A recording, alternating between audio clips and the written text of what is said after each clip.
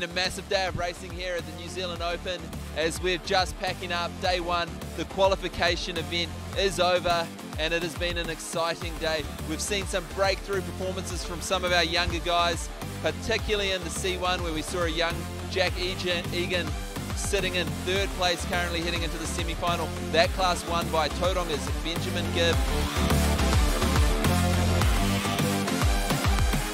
In the men's kayak, it was Michal Smolen out of the USA who came out on top, closely followed by young up-and-comer out of Okere Falls, Zach Mutton, with a fantastic first run, blistering fast, finishing just slightly behind Michal. In the uh, women's kayak, it was the New Zealand legend, the whitewater legend that we have here. That is Luuka Jones, currently getting ready for her fourth Olympic Games and showing that it is no contest here at the New Zealand Open for her, finishing a staggering seven seconds ahead of second place uh, Camille Prigent out of France, and Martina Wegman from Holland.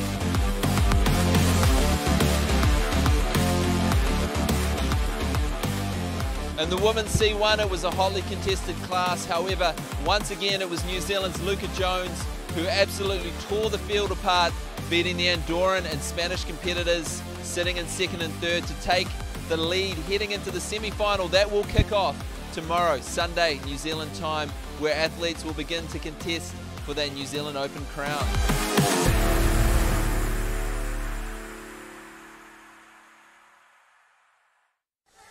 Kia ora and welcome back to day two of the New Zealand Open coverage where we're getting into the semi-finals and finals of the canoe slalom event here at the Mangahao Whitewater Park just out of Shannon in the North Island of New Zealand. Today, we're looking to have some amazing racing as athletes battle it out against each other for that elusive New Zealand Open crown. We're going to kick today's racing off in just a moment with the men's C1, but first, join me for a quick walk down the course to check out the gates that have been set to test these competitors at the New Zealand Open. So we're getting ready for another hot day of racing here at the semi-final of the New Zealand Open. The course is set Campbell Walsh, the New Zealand Olympic coach, has teamed up with Matt McKnight and set a very testing, very difficult course, starting off with an upstream gate on the left side for gate one.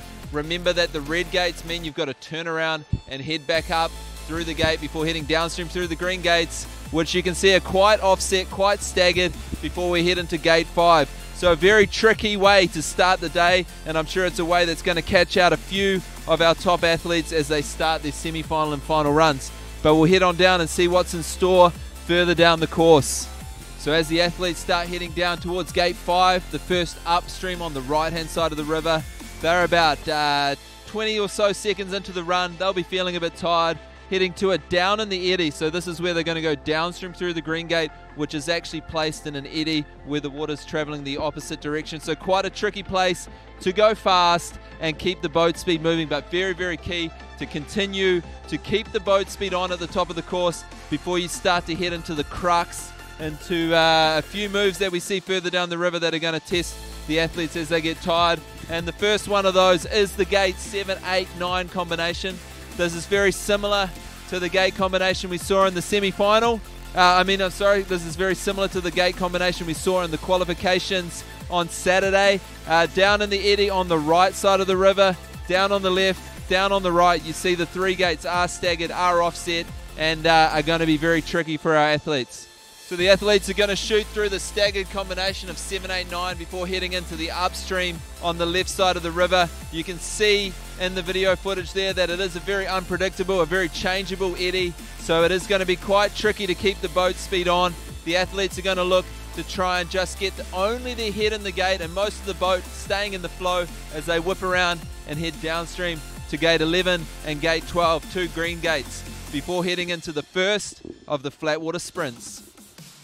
So now we find ourselves in the middle of the course. Um, this is called Punga Falls, one of the trickiest combinations on the course, a part of the river that will really test the guys. And you can see that the course designers haven't held back at all with this combination of set upstream on the right gate 13, right on the eddy line, so very difficult to stay on that pole before having to come across the river. And I think looking at this course, we're going to see a lot of athletes turning around backwards and doing what we call a spin move.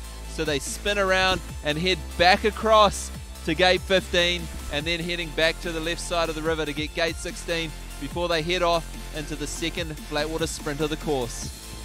As the athletes leave Punga Falls up here uh, after that Cruxy move we just talked about earlier, they're going to head into that second flatwater sprint before they come into the Big Burn. Now, this is where the arms are going to hurt, and I can tell you from experience, you're getting to about the 60 second mark.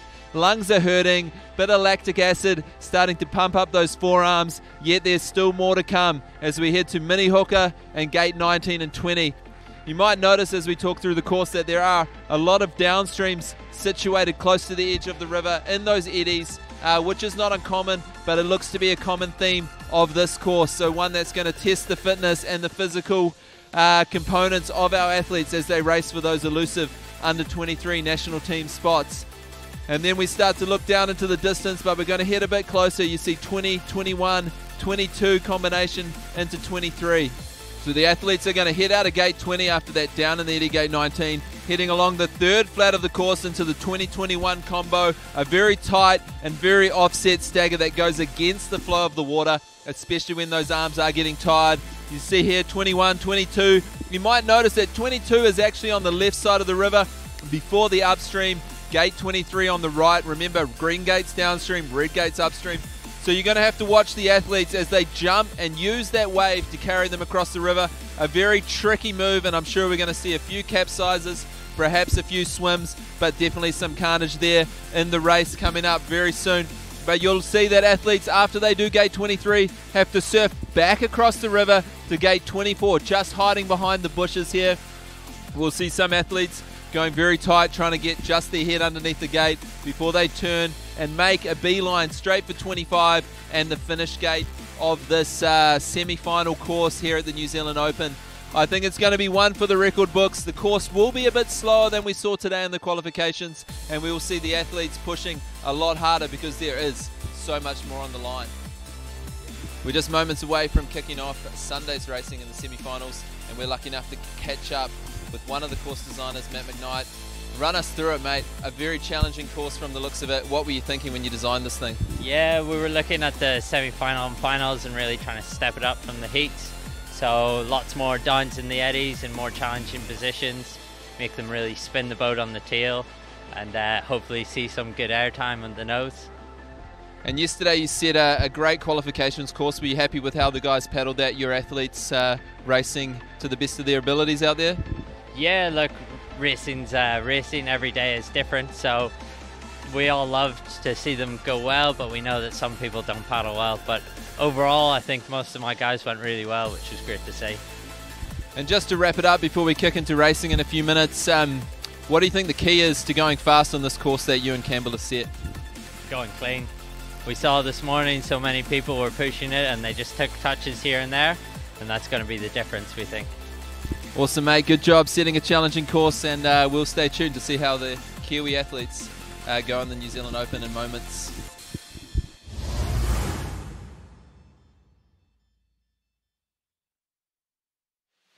A big good morning from the sunny Horowhenua.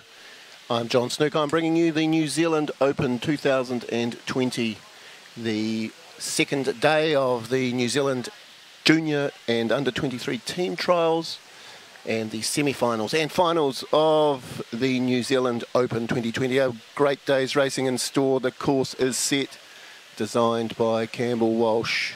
We have 25 gates again in very difficult positions, probably more difficult race positions than we did yesterday.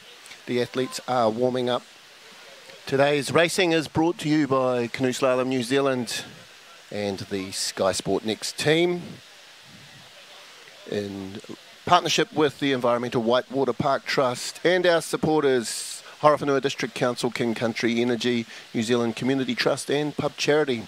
The schedule for today, 9.53, we have a race start. C1 men's semi-finals, ICF New Zealand Open, 10.17 New Zealand time. The K1 women's semi-finals. We'll have a short break and kick off again at 11.13, the C1 men's final top 10 through to that final.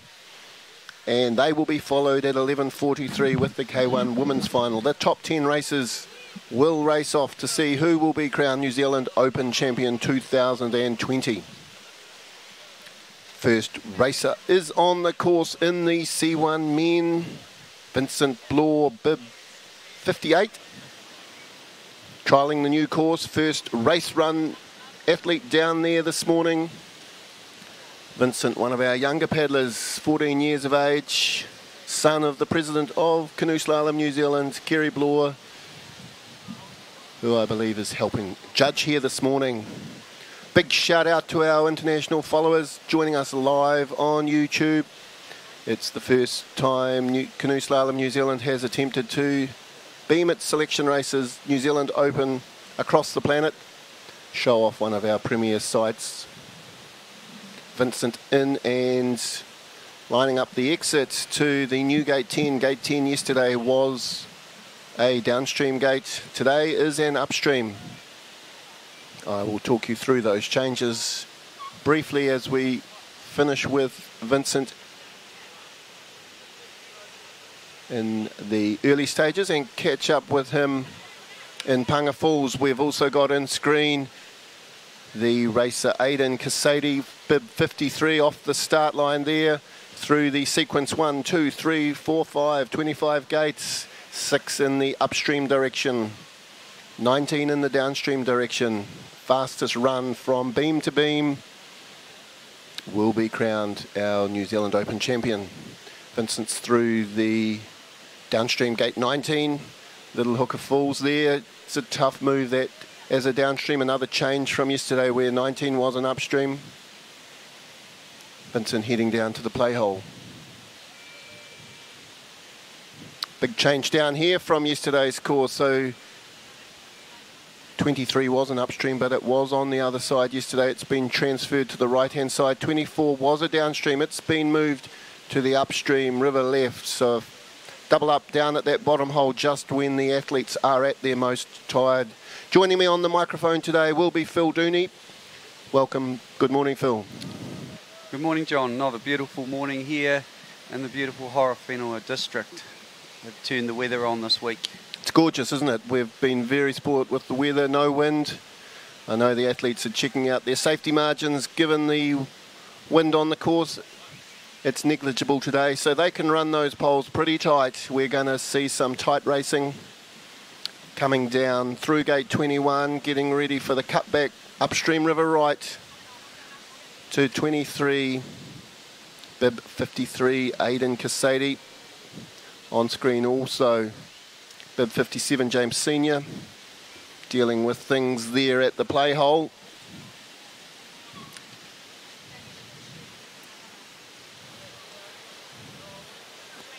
How's your daughter feeling this morning, Phil? Grace, ready to race? Ready to race. I think in a lot uh, more relaxed today after having a, a shot at the river yesterday.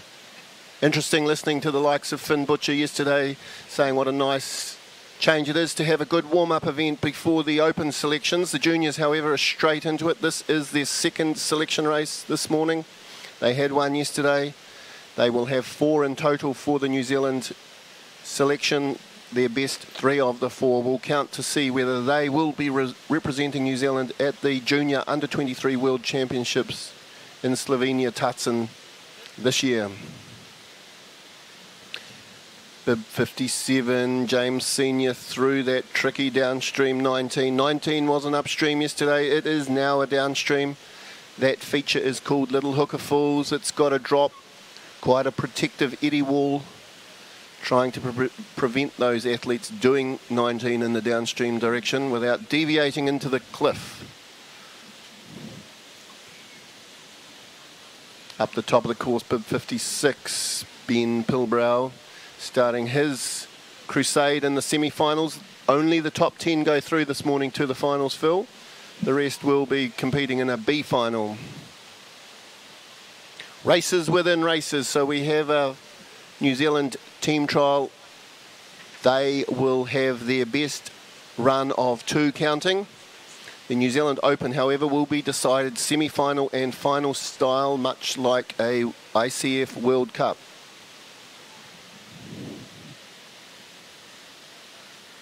We talked about that briefly, John. Uh, that's going to affect different athletes how they uh, approach today's racing.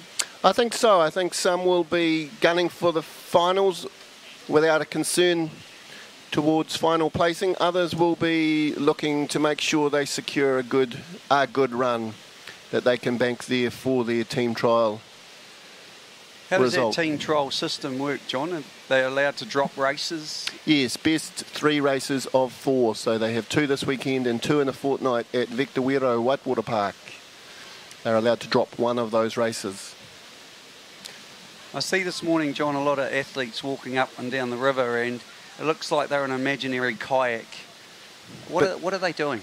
A bit of visualisation occurring. The athletes don't get to practice the course as such with the gates in this final position. So they're putting on their thinking caps, remembering what they've learnt this week through the nation training slots that they've used, trying to visualise how that water's going to feel on their boat, on their blades, and the stroke combinations that they would like to use. Perhaps they're setting a plan A, Phil, and as we both know, sometimes a plan B or C is required. For me, I often went to plan D in many occasions. Encores up the top. We have bib 55, bib 55 Lewis Grews. Down the bottom, we have James Thwaite, an accomplished paddler. Bib 49, James Thwaite, heading over Little Hooker Falls. We actually haven't seen that done very well this morning in the C1 class yet. No real direct line. It's tricky with the single blade. Remembering the canoes are kneeling, the canoe paddlers are kneeling and have that half paddle.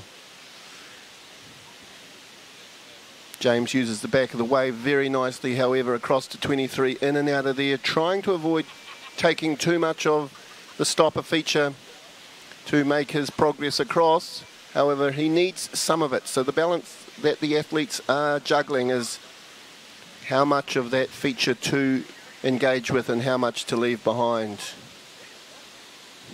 Racing to the finish, James Thwaite up the top of the course, Oliver Puckner, bib 48. Oliver Puckner had a good run yesterday in both the C1 and K1. Third yesterday in C1, very impressive for the under 18 paddler. He'll be looking to do both today, go through to the finals, Phil, and make junior team. Yes, he's qualified yesterday as number one under 18 C1 paddler, so he's got a good score on the board. He won't be dropping that race. He'll try to be try to do that again today, I could imagine. Oliver's one of those athletes that had that big disappointment, didn't make the Youth Olympics, came back fitter and stronger than ever. Sometimes those big disappointments are the turning point of an athletic career, really, and make you train harder than perhaps success would have. Yeah, the setbacks tend to make you a better athlete. Uh, one thing I was always taught that the athletes who put those setbacks behind them go on to be champions. Some of those life skills that the sport teaches. Oliver's down now, about to jump the big jump into Little Hooker Falls. He's done that nicely on the left, switched to the right, back to the left. Almost pulled off our first direct move there in the C1, did Oliver. Setting up the ferry across the back of the hole into gate 23. Again, a switch in mid flight. That boy can switch with the best of them. It's a very um, technical manoeuvre switching, surfing across the hole like that. We've picked up Bib 50, James Sutterby in and out of gate 10, top of the course. Our attention goes back to Bib 54, Cole Anderson. Good run yesterday from Cole Anderson. James in and out. You'll notice that 13 is on the other side of the river today. 13 has switched, 14 has switched. The athletes still electing to spin 14 as they mostly were yesterday. A few hero moments when some elected to, go direct on 14 yesterday was not done successfully other than perhaps in demonstration runs. Spin there for James at Little Hooker. We're waiting for our first direct. 1920. Cole looks to have had a solid start. We'll pick him up down the bottom shortly. Meanwhile, Sean Higgins in the starters' orders.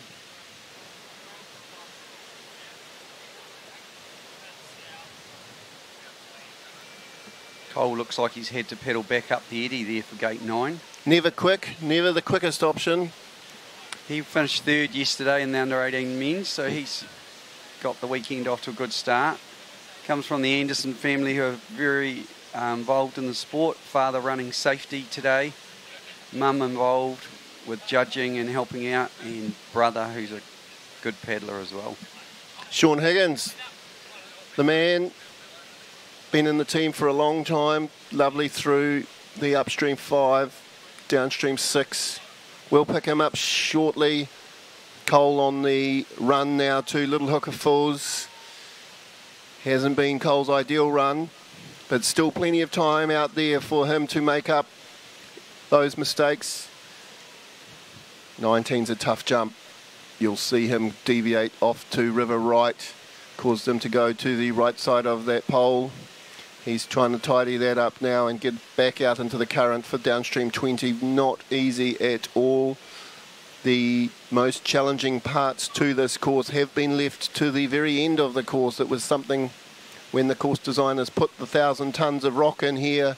They said the Kiwi paddlers are good for the first 60 seconds, not so good for the final 30 seconds. Why don't we make the end of Mangahao the hardest it can possibly be and help them to improve their finishes? I think that has been occurring over the years, but definitely tricky down the bottom there, Phil. On course, we have Bib 51. We have Finn Anderson, Cole's brother, done that nicely. Pushes back off the pole at 8, leaving that in the hands of the judges. Not much pre-turn into 10, taking Finn a little while there to get round. Tricky little section easy to underestimate through there. Finn was second yesterday in the under 18 men's category. Comes with a great background of youth Olympic medalist. New Zealand's only youth Olympic medalist. Finn is an extraordinary paddler, both K1 and C1. Meanwhile, Charlie Bell up the top, gate one. Nicely through gate one for Charlie Bell. Took a nice jump. Maybe we see our first direct there from Finn Anderson. 1920, beautifully done. Not sure if he picked up some pole damage. We'll leave that to the judges, but Finn will be happy directing, taking the low line into 23, low risk, but slightly lower than perhaps he wanted to be. Has given him a nice exit. Cross to 24. Sprint to the finish. Charlie Bell into 10. Again, a little lower than Charlie perhaps want to. Missed the surf in. But through 11 and 12 in good order is Charlie Bell. Great to see this streaming live through YouTube. Got lots of good comments online.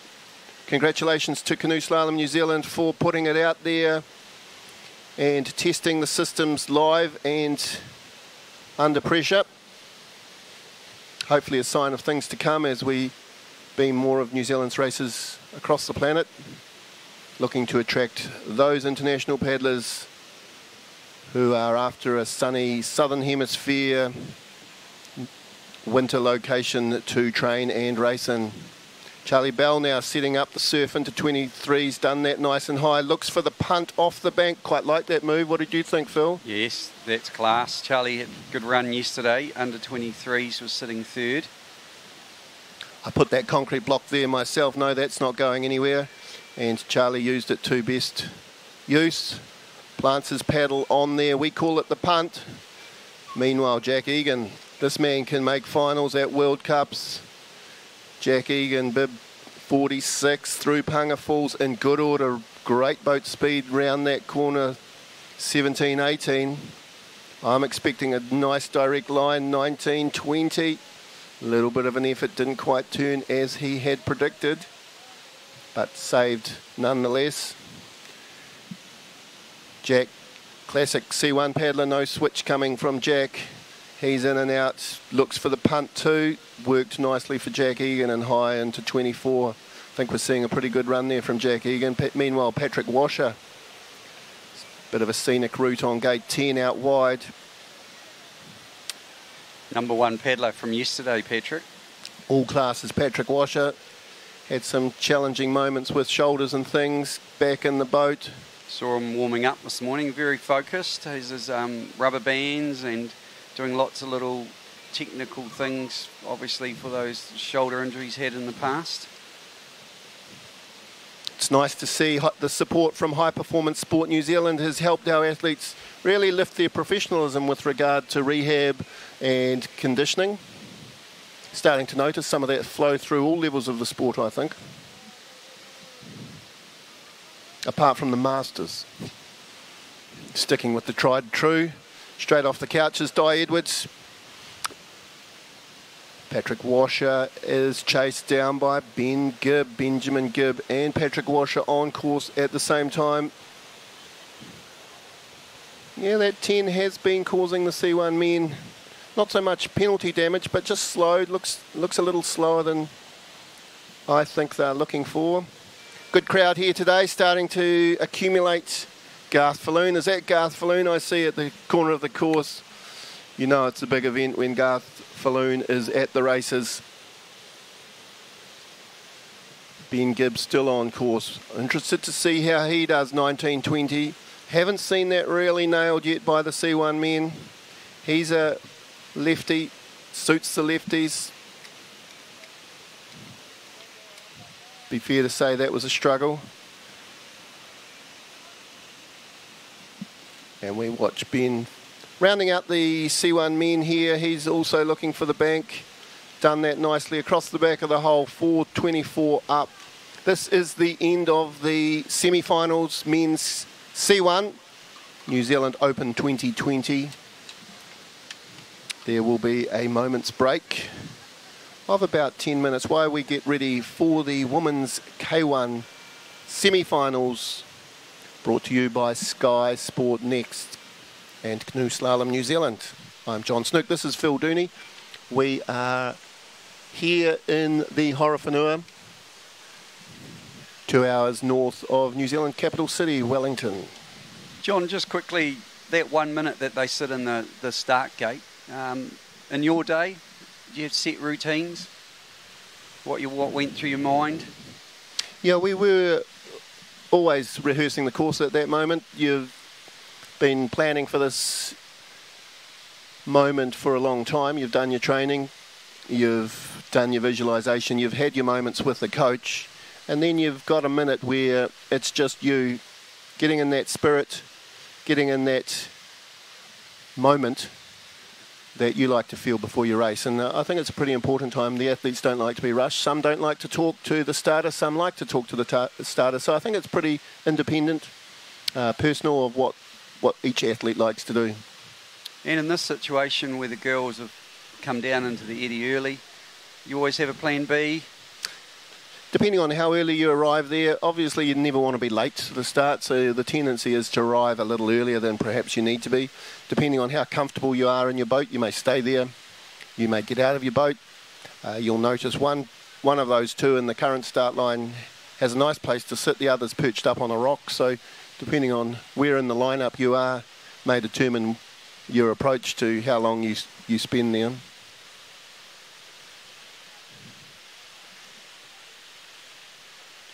So you might see some of these younger girls doing these moves a little bit different this morning, um, and so they have a bit of terminology in, in our sport of calling things direct or bogeys um, or spins. John, do you want to help the public out who are new to watching the sport what all that means?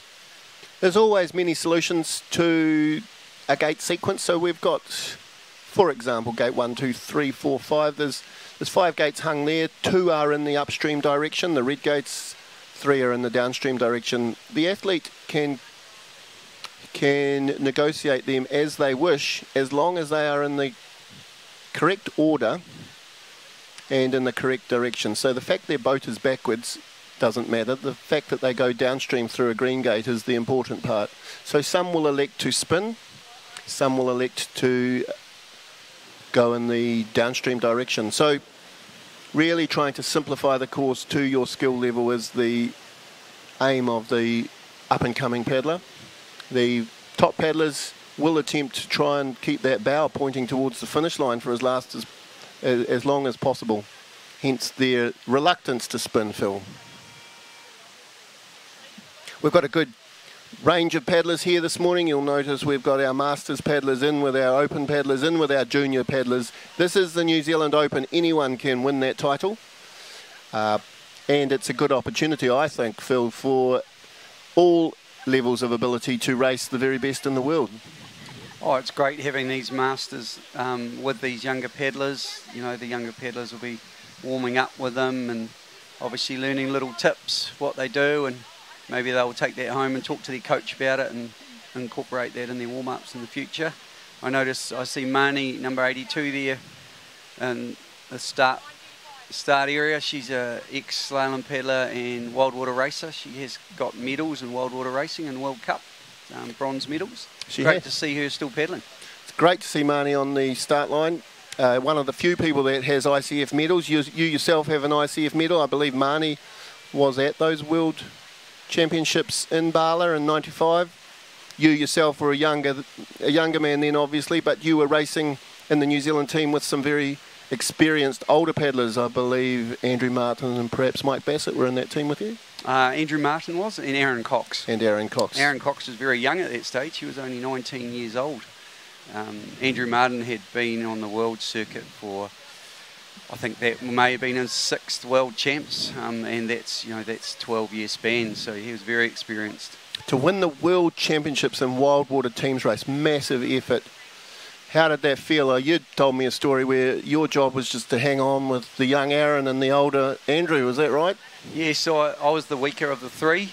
Um, I got passed very early by Aaron, and, and then Andrew Martin, I had to just hang on his wash as much as I could all the way down the course. We were ranked third, um, and we came in first, so we knew we had a bronze medal at worst, and it was just a waiting game then to uh, wait, wait for the French and the Germans to come down the course. And, it, and it all worked out. Fantastic result.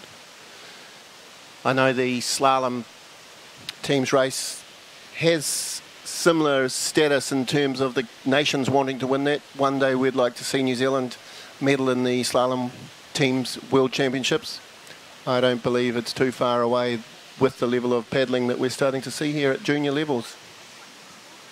Did you yourself, John, were lucky enough to have two other guys to race the teams race? We'd always raced the teams race. I'm not sure we did it particularly well. I think uh, best effort was a 10th at the World Championships in the teams in 95. Um, in I Nottingham, think in right? Nottingham, yes. I think that's been superseded by previous, uh, by later teams. It's not something that New Zealand practices perhaps enough. Uh, it's always done at secondary schools. Don't see it here this weekend, for example. Perhaps it's something that could be added to the race format if time permits. Meanwhile, Bib 81 getting ready for her semi-finals New Zealand Open 2020. Eva Guccione. The countdown is almost on for Eva. Our younger paddlers here, under 18. Better pressure as she sits there by herself, rehearsing her run. Plenty of challenge down this course, both with Whitewater and with gate placement for Eva. Not sure if she's going to elect to leave some of the more difficult gates out this run or whether she intends to give everything a crack being the semi-finals of the New Zealand Open and all. Races within races, it's also her junior selection race. These young peddlers are also trying to impress selectors to possibly get in the junior development program. It's great with those different levels of squads available for the juniors to slot into. We have a junior development program, we have a national performance squad, a number of different squads they can qualify for. And either on course. Bow wind high off the wave at gate one. Course do some challenge. That wave has been developed in conjunction with a young engineering student from Massey University. Massey University being the local university from Palmerston North, he said we'd like to, he'd like to try and build a surfing wave. So the trust worked with the engineering department. Still needs a little modification, but we've got a green glassy wave there at the top. I know it holds a boogie board. Could be better for the slalom course in future years as we put in a few more critically placed rocks. Eva, meanwhile, is down at the playhole gate 7 The top half of this course, Phil, is all under stadium lights. You can actually pedal here at night time. Yes, uh, I've had a few uh, athletes comment about that, and I said, you know, the water tends to flow here at night when the energy is needed, and um, in the winter it gets dark, so the lights come on. Activated by clever smart card. I do remind people they are lights, not heaters, so it's still pretty cold here, but it's possible to paddle all year round. Eva down the bottom, gate 12, or the middle of the course, I should say, lining up the Punga Falls. It's a breakout river right. On today's course was breakout river left. Yesterday, she's across to gate 14, surfing that nice little wave, trying to stay above the gate. Looks like that hasn't been possible for Eva in this occasion. She will get another run today. So whether you make finals or not, you will get two runs, I believe, a B final so, John, you call that Punga Falls. Where's that story come from? Oh, there was a punga there one year when I happened to come around the corner and go under the tree. A punga is a, a native New Zealand tree. Was under the water out of eyesight. But I found it, Phil. I tended to find the most awkward obstacles I could just to liven things up a bit. On course, Marnie Fornasek at the top. And Eva lining up the hole that perhaps holds the most fear for the younger paddlers. She's had a rapid spin there upside down. We call that a window shade. Upstream edge too much and she's bravely fighting back to get back to gate 23. You can paddle back up there. Not ideal for the paddles but good for the race time. 50 seconds is added to the athletes' times for not going back to gate 23. It would be 100 seconds if she elected not to go back for 24 and 23. So she has done both. Marnie, meanwhile, into gate 10 and off the start. We have Kate Hawthorne. She's in the New Zealand Development Program. Looking good as Kate through the gate one, two, three must do something to your confidence, Phil, to get those first five gates underway nicely without too much aggravation. Just oh, settle the nerves. Yes, definitely. Especially these younger kids who don't get to race or are still learning their race tactics and um, that psychology of the sport. So to yeah, to, to get that first five gate sequence is a real bonus. Kate putting the tail down there at gate eight which squirted her wide of gate 9 unfortunately. She'll throw a bow in behind 10 and has dropped a little low into that upstream 10. Remember 10 was a downstream that the athletes were struggling with last yesterday. Now turned into the upstream, as has gate 1 on course. Gate 1, Grace Dooney. Any relation, Phil? My lovely daughter. Um, she's having a little trouble there, but a great example of the role executed there by Grace. Unlucky to lose that edge. She's paddling back for gate two. Not sure she needs to, but has elected to stay on the safe side. Grace, plenty of time now to pull the rest of the run together. Some say it's better to actually have a, a tough start and then throw caution to the wind as you uh, have nothing left to lose. What do you think about that? I'd rather have a positive start myself, John. I remember the famous World Championships where Richard Fox hit gate one and went on to win by 10 seconds. We're expecting the same from some of these athletes today. 83 down the bottom, lining up the bottom drop. Two athletes in there. Kate still tidying up her run. Has sent 83 into a spin. Michelle Priest still on course. We have a number of paddlers on course at the moment, such as the challenge here for these young under 18s. Do give them your support if you're on the banks. We want to hear from you if you're online. Give us your comments. This is Mangahao National Whitewater Centre and this is the New Zealand Open 2020 brought to you by Canoe Slalom New Zealand and Sky Sport Next. Beautiful cross there by Grace Dooney, spin at 14.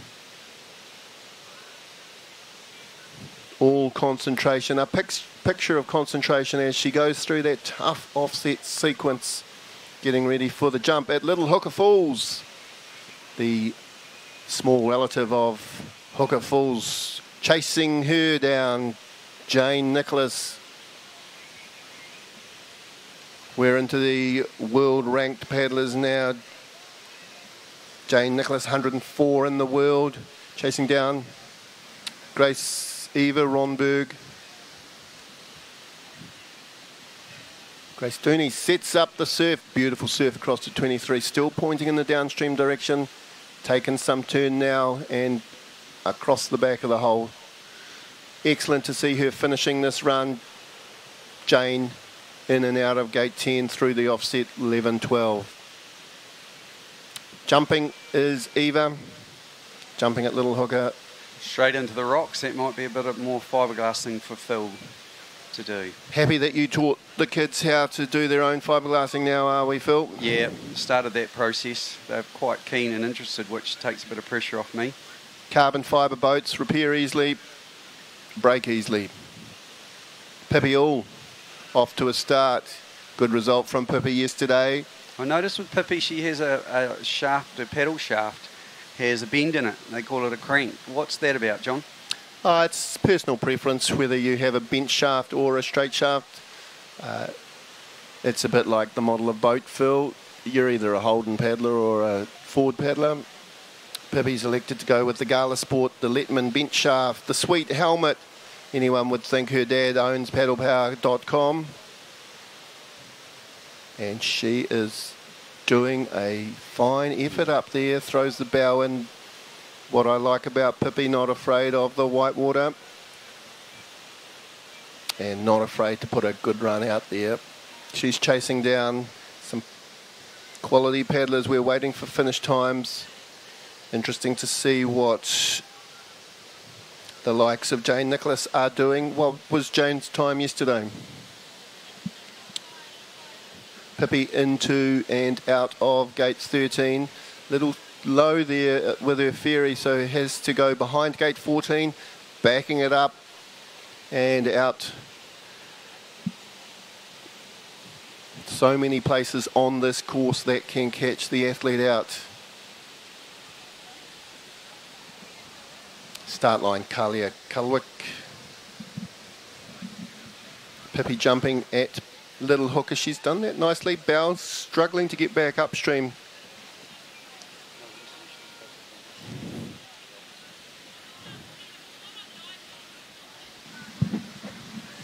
Thanks for joining us from around the world, streamed live to you on YouTube. Feel free to give us your comments. This is Mangahao.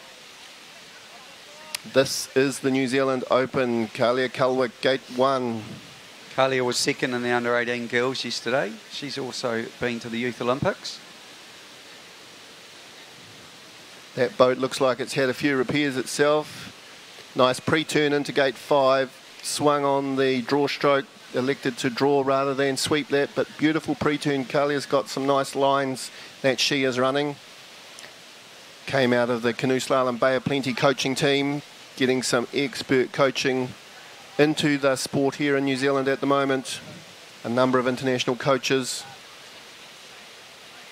That is helping inform the youth of New Zealand the tricks of the Europeans. Nice run being laid down here by Kalia Kulwick. Very impressed with her top half down to gate 12. Waiting to see how she deals with the Punga Falls.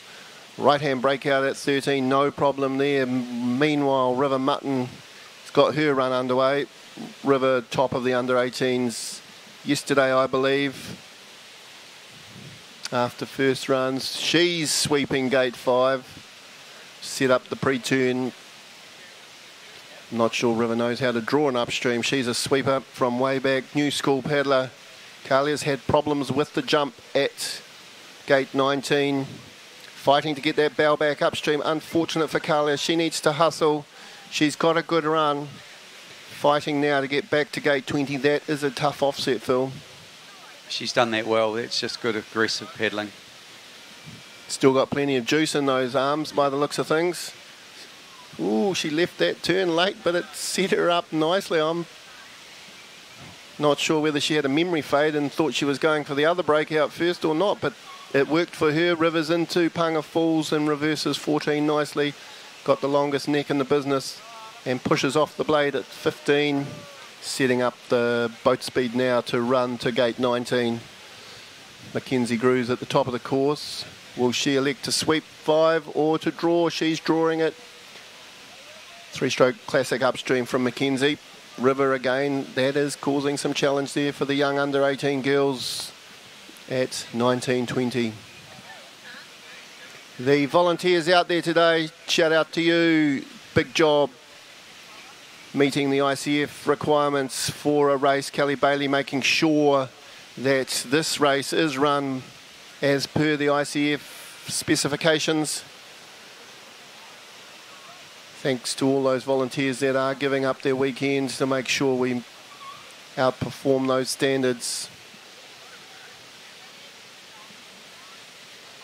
Casey Hales hailing from the Hawke's Bay. Jamie Wilson. Jamie Wilson, my bad. Jamie Wilson. Young peddler. I've had the pleasure to teach her at my high school, head of sport coaches some of the younger girls at Hawke's Bay, puts a lot back into the sport.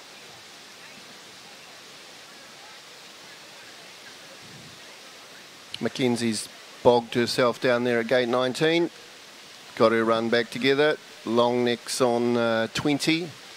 Liz Fowler judging there. Very difficult conditions for judging to make sure that benefit of the doubt goes to the athlete. Jamie Wilson in and out of 10 quite nicely, Phil. She looks like she's putting a good run together.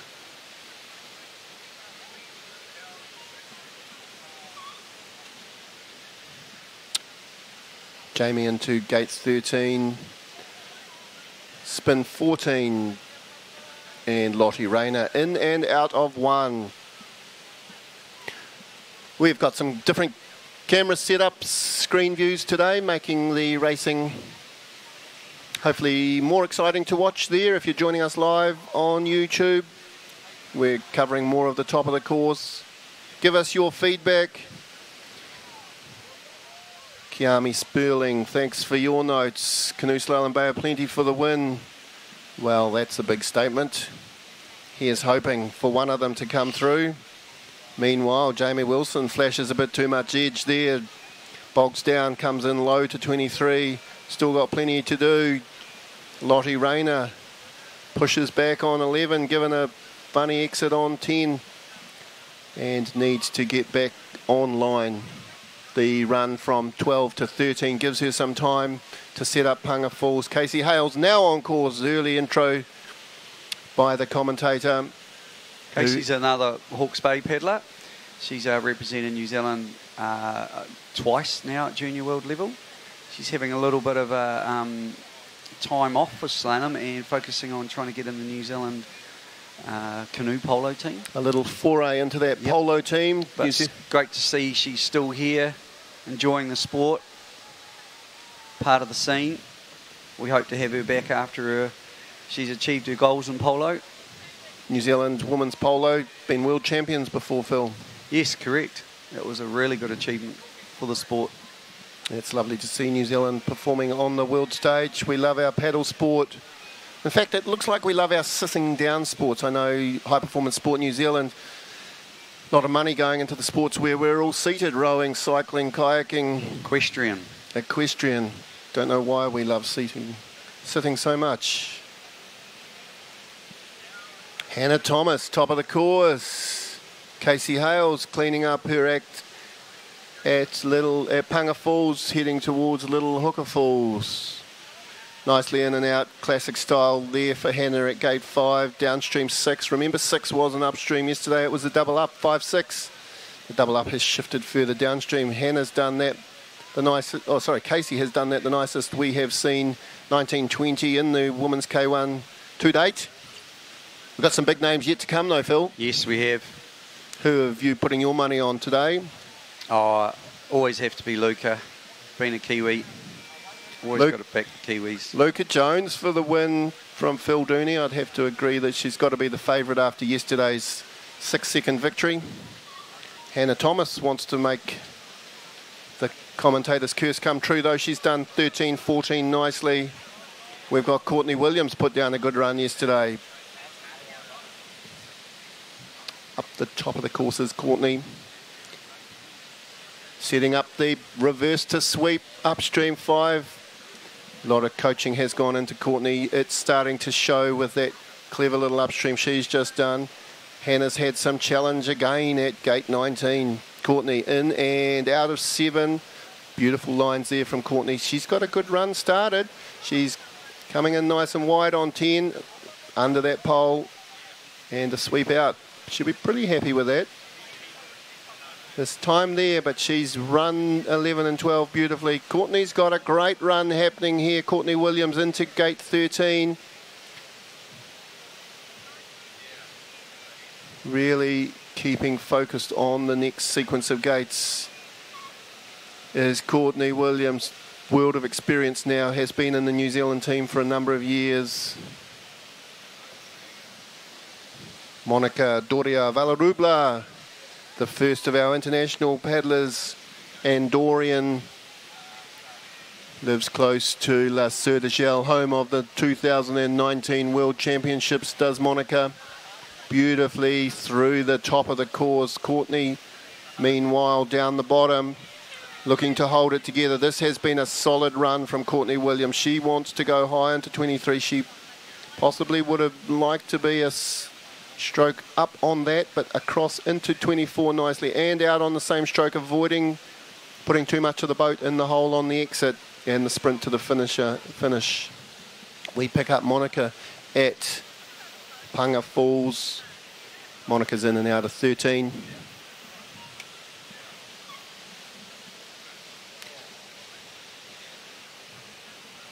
Martina Wigman this time last year, Martina was getting married to Mike Dawson. We've replaced weddings with Olympics now for Martina. She has qualified to race the Olympics for Netherlands. She's done five, the best we have seen it this morning. Pushed off the backstroke, set up the sweep. You won't see much better than that all weekend long.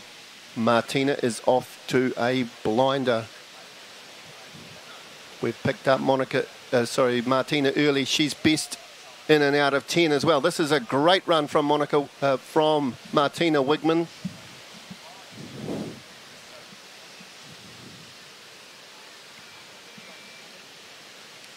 Tried for the sweep at 13, didn't quite go to plan at 13. Spins on 14, seems to be the way we have settled into that. It's possible direct. The forerunners showed us that. Martina's starting to puff. She's getting into the tricky gates. We've got her being chased down by Camille Prigent from France. Cami was second yesterday to our own Luuka Jones. She also has nailed gate five. Little stall on the exit though, perhaps not quite as nice as, as Martina, who is now setting up the bottom drop high into 23. Martina will be happy with 23. We've left Martina picking up Cami at gate 10. Again, gain a little bit of time lost there for Cami. Hammer down now as she races away to gate 13. You'll notice Luuka Jones doesn't mind chatting on the start line. Not sure how many years she's been coming to Mangahao, but pretty sure it's more than a decade. Carol Walkley's been on the start line every time.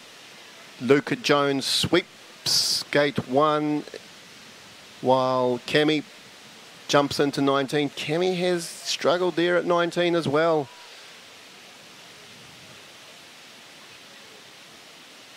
I think we've got some tight times here between Martina, Monica, Cami, Courtney and Luuka. Luuka's done that brilliantly. 7-8 couldn't get better. Little late for nine.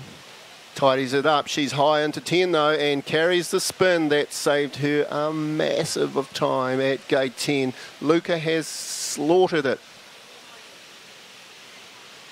Throwing a little caution to the wind. This race for the open woman is not a team trial, and she's gone direct at 14. Too easy. Next 15, we've got a blinding run here from Luuka Jones, wouldn't you say, Phil? Your prediction is right. Yeah, it's class. Here's the jump. This is the key. Watching the best of the best here. Yep. Too easy. Direct and smooth, straight lines there, 1920. Luuka putting on a clinic.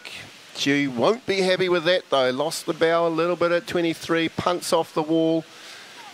It's not a big deal. In and out of 24. Good run, run Luuka Jones. Waiting for those times to come up. That is the end of the K1 woman. We will be taking a break.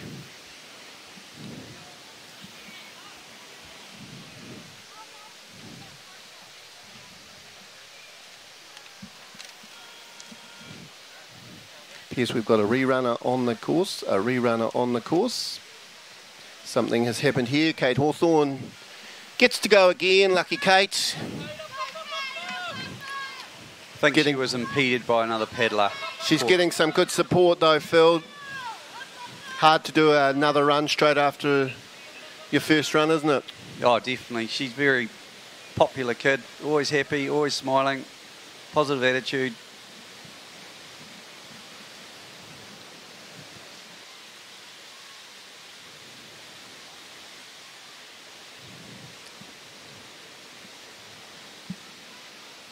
She set her run up very well. She'd be happy the way she started. Taking the spin option there at gate seven, you've asked me before how the athletes decide. Really, it's them assessing their own abilities and, their, and what works best for them at any one move.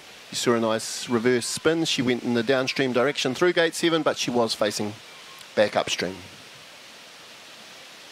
direct through 11 and 12. Bow stays pointing to the finish line. That will be the first rounds here, semi-finals, New Zealand Open 2020. Thank you for joining us live here at the venue, Mangahao, the National Whitewater Centre, or tuning in to YouTube via Sky Sport Next, brought to you by Canoe Slalom New Zealand. We will be back shortly.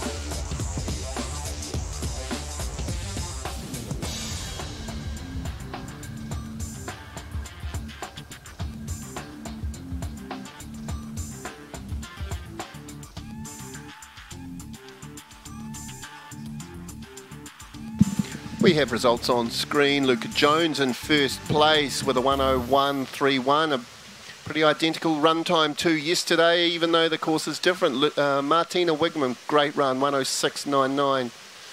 Camille Prigent in third with a 108.72. There was four seconds of touches on that total. Jane Nicholas, great run for the Cook Island athlete. Jane Nicholas, 111.18. Monica Doria Vilarrubla, the Andorran paddler, in fifth, 112.38. Courtney Williams, great run, 118.11. River Mutton, 122.09. Hannah Thomas, 123.71. Casey Hales 132, and Kalia Kulwick rounding out the top 10. They are our top 10 unofficial athletes going through to today's final New Zealand Open 2020. Luuka, Martina, Camille, Jane, Monica, Courtney, River, Hannah, Casey, and Carly are our top 10 athletes.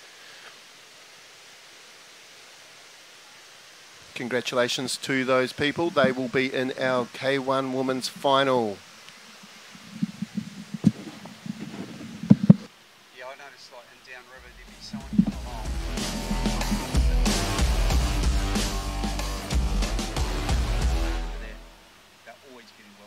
Something in the There's, eh? head, say, there's something about, oh, I can get him here.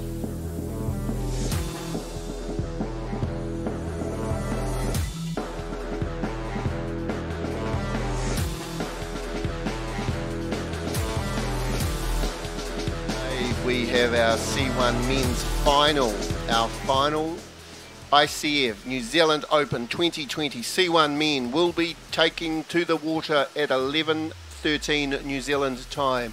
The K1 Women's Final ICF New Zealand Open 2020 will be starting at 11:43 New Zealand time. So that's 11:13 for the C1 Men's Final. 11:43 for the women's final. That is approximately 30 minutes until we have the C1 Men's Final, ICF New Zealand Open 2020. We will take a short break. break. I'm John Snook, and I've been with Phil Dooney. We will be back live on air at 11:13.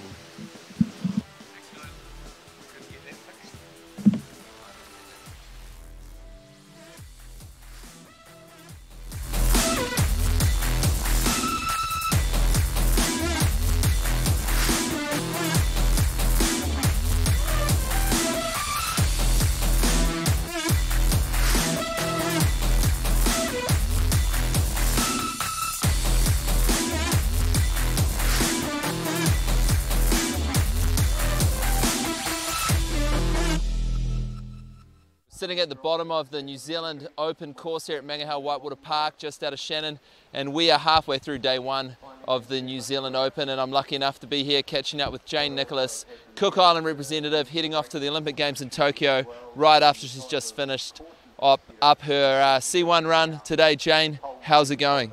Uh, having a decent day so far today. Today's uh, qualifications, and I think I will have safely made it through to the finals uh, for the tomorrow. So I'm pretty happy about that. Yeah, I saw you out there. You looked fast and smooth on the water. Um, the course looks tricky. What's the trickiest part? Which gate combinations do you think most athletes are having trouble with? Yeah, I think they've um, done a good job of setting the course out here and uh, putting a challenge for all the athletes. Uh, I think with slalom, the uh, hardest thing is holding together over the whole run. So there's a number of tricky moves, but you try to get the whole thing and put the whole thing together. Yeah, exactly. The course is around 100 seconds long, 110 seconds long. So obviously pretty physical for you guys. How important is this race as you prepare for Tokyo later on in the year? Yeah, so this is my um, first race of the season, start of 2020 racing.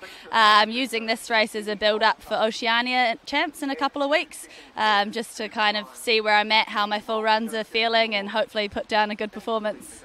Oh, oh, that's awesome. Thanks for the insight. We wish you all the best and congrats getting through to those finals day on Sunday, um, and good luck for that.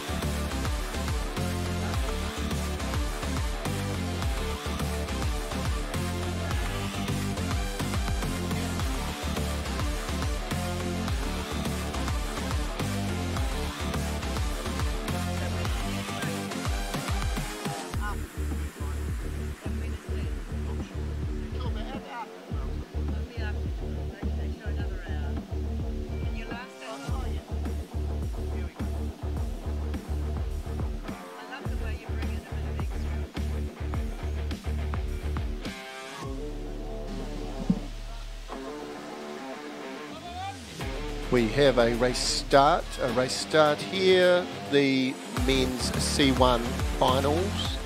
We've got our first final of the 2020 season for the New Zealand Canoe Federation, Canoe Slalom New Zealand. It's the New Zealand Open here at Mangahao.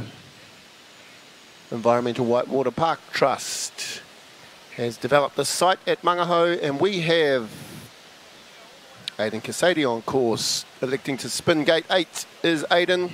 We've got our top 10 paddlers racing down here for the glory of the New Zealand Open.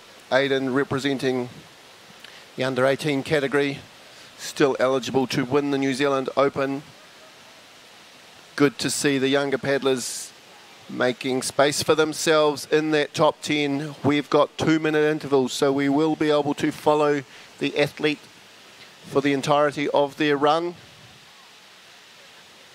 Top 10 athletes are Aidan Casady, Ashton Blair, James Sutterby, Charlie Bell, Oliver Puckner, Finn, Sean Higgins, Finn Anderson, Jack Egan, Ben Gibb and Patrick Washer. They are reverse seated, so our quickest from the semi-finals will go off last today.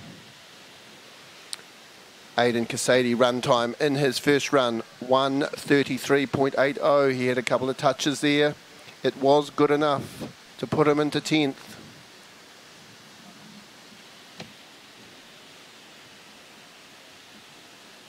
The Mangahao Power Station was, in fact, built in 1924.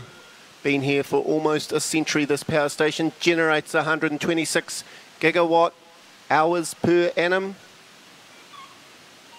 thanks to 3,700 millimetres of rainfall that occurs in the Tararuas. None today, however. We've got beautiful sunshine here in the Horowhenua. And we have on course Blair Ashton, another under 18 man that has made top 10. Blair's run time in the first in the semi-finals 132.99. 22 seconds behind Ben Gibb and Blair looks like he's come off the track, come off the track at gate six, deviated into the eddy. Bit challenging there for a lefty at gate six.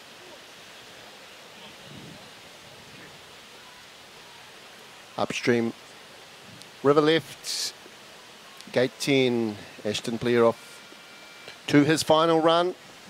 He'll be followed down the river by James Sutterby. Big step up between Aidan and Ashton and then to James who did a 124.49 in his first run.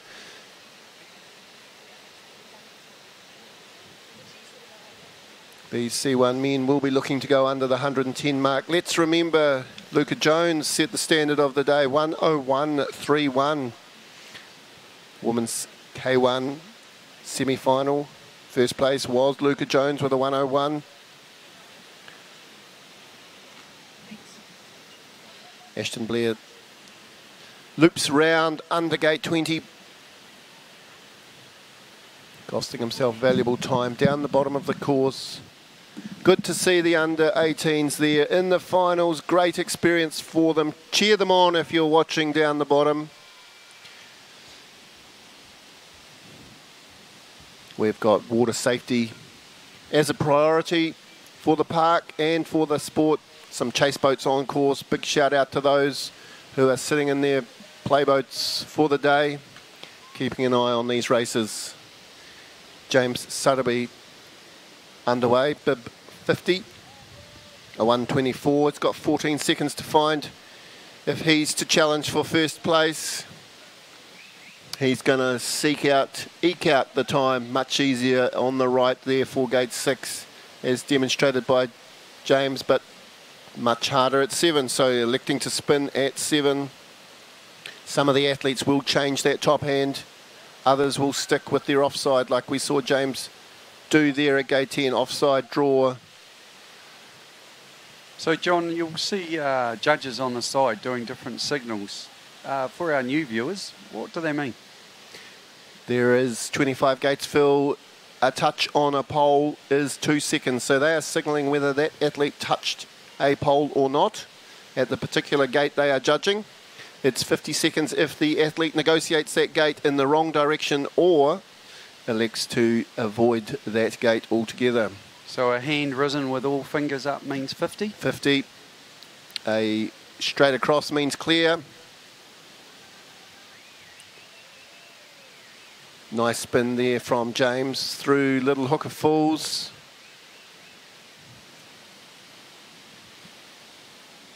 There's also uh, iPads been involved in a lot of technology as well. Yeah, I think the sport has progressed a lot with technology. The judging decisions are relayed to the timing software via the internet, as you'd imagine. Smoothing out the course. Things are checked and rechecked. I call it mission control up in the tower with all the computers and the headsets they all wear and definitely the Brains Trust is located in the control tower here at Mangahao on course Charlie Bell. 117 had four seconds of penalties in his 117. Takes him down to a 113 and in touch with the race leaders at 110. So Charlie's definitely in with a chance for a medal here at the New Zealand Open. He's got the boat speed. He needs to stay off the woodwork, Phil and he's set himself up. He's got off to a fantastic start through the first eight gates. All unfortunately take a touch there. It's a commentator's curse. Unusual too, big overturn there at gate seven and then still hit gate eight, unusual. Charlie's still got the skill to put this run back together again. A medal contender, definitely. We're into all medal contenders.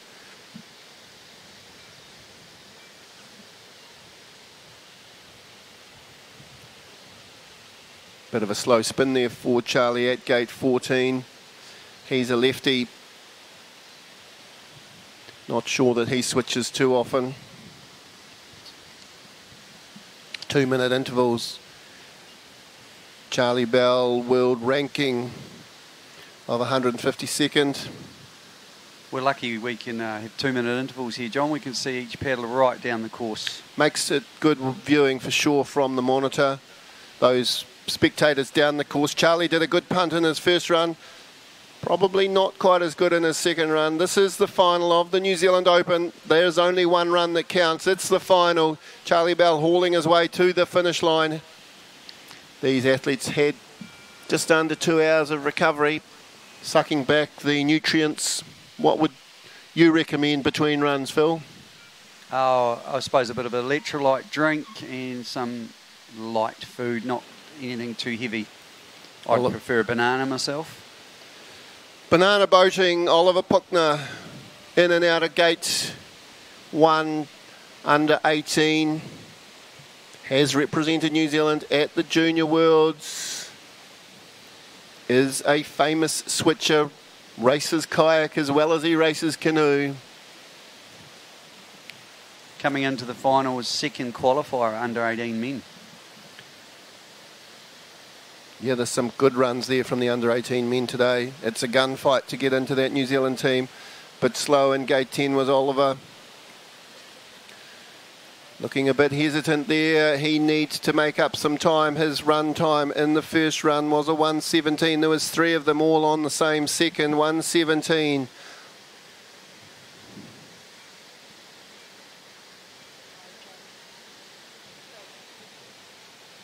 and then a big gap to the three 110s we had. So some tight racing one, two, and three, some tight racing four, five, six.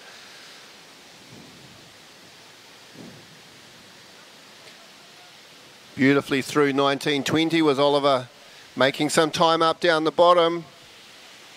Clean run as you see on the screen. No great to have great to have those on-screen graphics along the back of the hole, perhaps a little lower than had planned flicks into that pan, plan B mode. And a good recovery.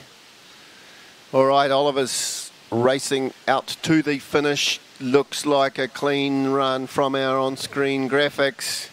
Hauling through the fast water, seeking every moment of power he can find. Sean Higgins. 109. A 109 from Oliver. He's throwing it down. Fastest first- run of the day in men's C1 is Oliver. And clean. Sean nice and controlled into gate one. Watching that pole.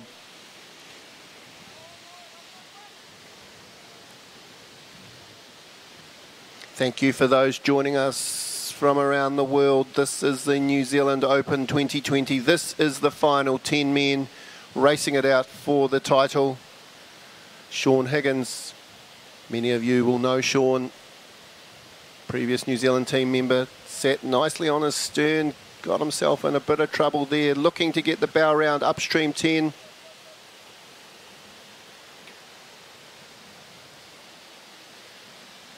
As I say, they didn't build a power station here for no reason. Phil, 3,700 millimetres of rain in the year.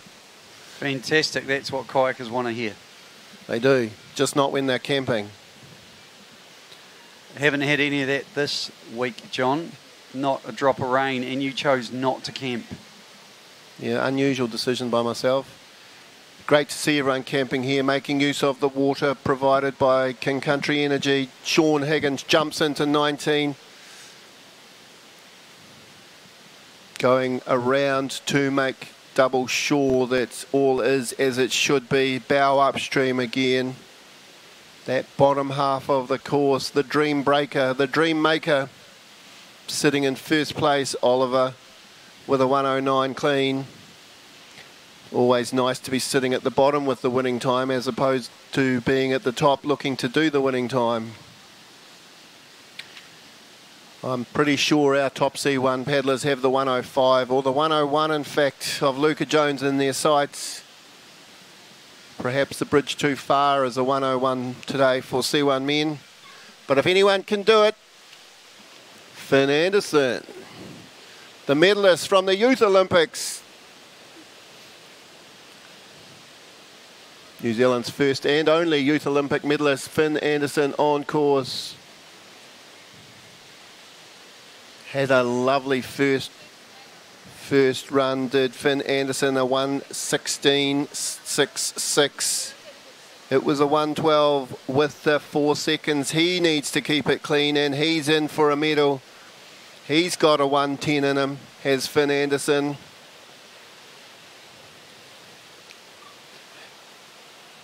Didn't quite grab the hole as he had wished there. He ended up low in 10.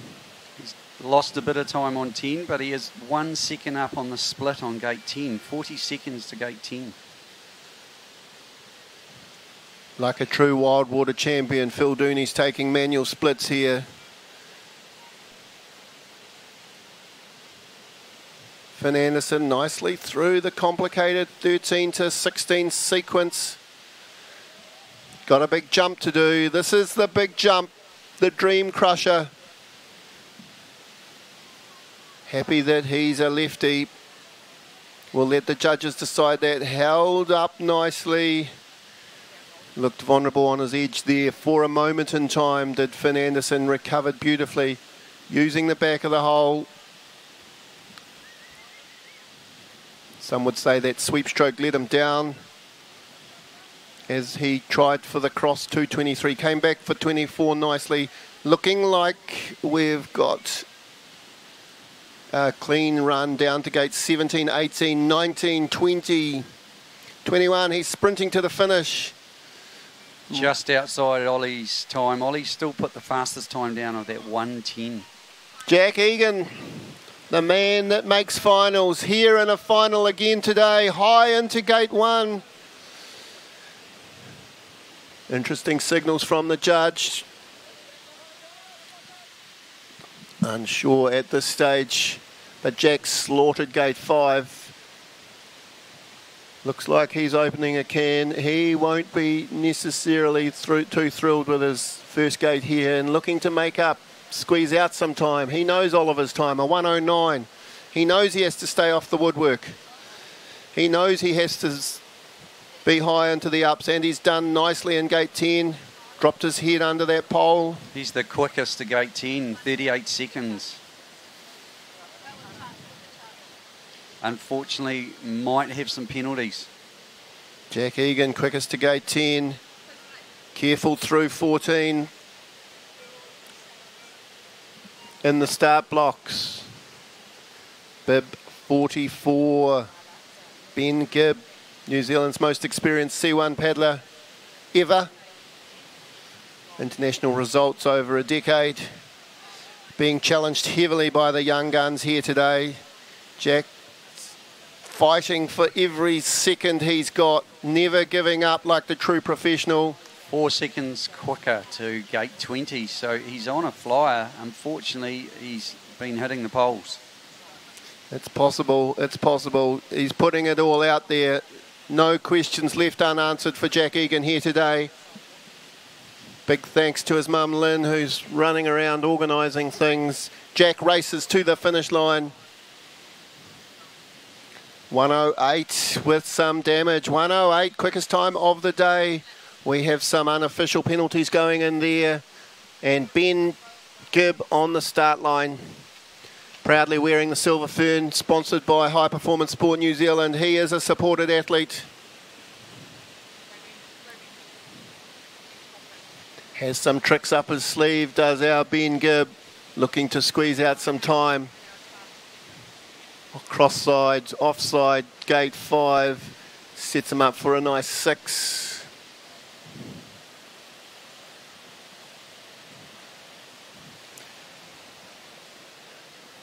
For Ben, the title is what he is racing for today. No senior selections here. This is a warm-up event for the Open men, C1 and K1, men and women. Ben Gibb looking like he's up on the split. Up on the split, but we have a touch appearing for him, cancelling out that speed. He's got a bottom two complete. Medals looming.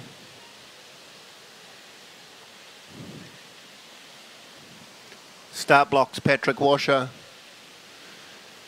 Ben Gibb jumping into 19. Little Hooker Falls. Possibly the best we've seen at 19 by Ben Gibb. He knows where the time is on this course. It's at the finish. A sweet 1920. A surf across the hole waiting. High into 23. Looking for the punt off the wall. Done that nicely. Good finish by Ben. We're expecting a time down at the 105 if he can finish it off with a sprint. Still only the one touch appearing for Ben Gibb. Still Oliver in the lead. Finish time. As expected, 103 with a touch, 105. Ben Gibb goes into the lead unofficially here at the New Zealand Open 2020. Luuka Jones's time, 10 to tantalisingly close for the C1 men and what a controlled start from Patrick Washer.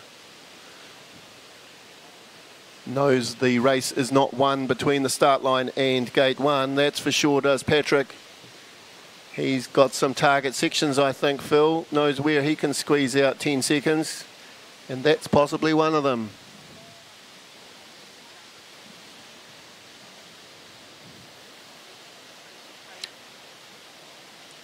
Patrick Washer, the fastest of the C1 men in the semis.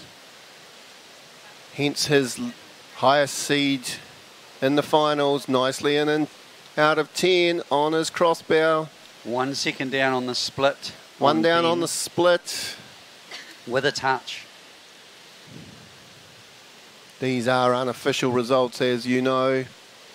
The athletes have 10 minutes to contest any touches that they don't agree with before the head judge, chief judge, Kelly Bailey, cements them into the history of the sport. Jumping into the spin on 19, elected to spin a couple of times here, does Patrick. Head round 20, nicely done. It's tight, it's tight for a finish. We need a really good finish from Patrick Washer. There's a couple of touches appearing on his scorecard. He's low into 24. He's out tight, however. He's got the big sprint to the finish. 103.98. So 105.98 time to beat. Looks like Patrick will be slightly outside that time. He's done a 110.69. Unofficial results then have Ben Gibbon first, Oliver Puckner in second, and Patrick Washer in third. They are unofficial results at this stage. Thank you for joining us for the men's C1 final. It will be followed immediately at 11.43 with the women's K1 final New Zealand Open 2020 brought to you by Canoe Slalom New Zealand and Sky Sport Next.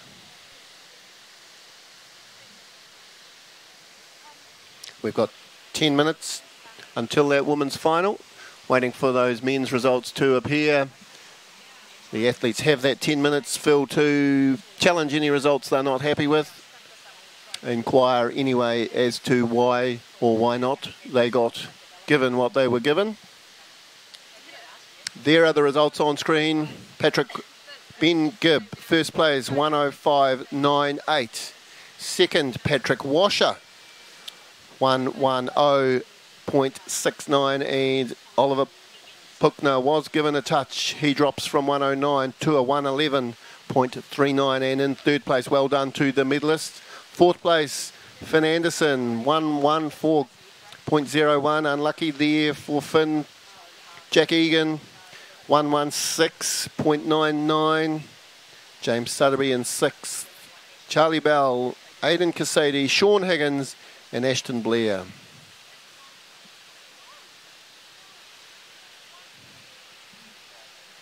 Since we've got a few spare minutes before the Open Women start, John, would you like to explain Olympic qualifying, how it all works, right from world champs and how you how you uh, get a spot for your country? International Canoe Federation has a number of country spots. Uh, they were put up for grabs at the World Championships. New Zealand qualified country spots in women's C1, women's K1, men's K1. So they are boats that have been qualified. In the women's category, New Zealand has, selection policy has allowed, has determined that Luuka Jones takes both the K1 woman and the C1 woman spot, I believe. The men's K1 spot is yet to be decided. That will happen at Vector Wero Whitewater Park in a fortnight and at Penrith Olympic Stadium in the middle of February. So they will, the New Zealand men will gather points towards their Olympic qualifying race. The men's C1 still has the opportunity to qualify the Oceania spot. So at the Oceania Championships, either Australia or New Zealand will qualify the one more spot available. Small fields at Olympics, Phil. How does that work for European countries? A lot more cutthroat? Very cutthroat. Cutthroat. They also have the opportunity to generate a, a country boat. Uh, and then they also have to determine which of their national representatives are going to take that boat at the Olympics. The Olympics this year, Tokyo 2020. It'll be Luuka Jones's fourth Olympics, I believe. Puts her up there in, in a small and elite field of New Zealand women who have competed at four Olympic Games. In kayakers, um, Ian Ferguson, the great Ian Ferguson, four Olympic Games. The great Ian Ferguson from Palmerston North, I believe. Yes, Palmerston North, Himatangi Beach Surf Lifesaving Club. Four Olympic golds and a bronze. And a silver too, sorry. Ferg would be upset if I didn't mention that. One of the true legends of all New Zealand sport, Ian Ferguson. Just and speaking about uh, paddling sport, that's the, the great thing about our paddle sport. There's so many different types of paddling you can do. Yes, and I think that New Zealand surf life-saving experiences has been very instrumental in helping the likes of Lisa Carrington and Ian Ferguson with their uh, international campaigns.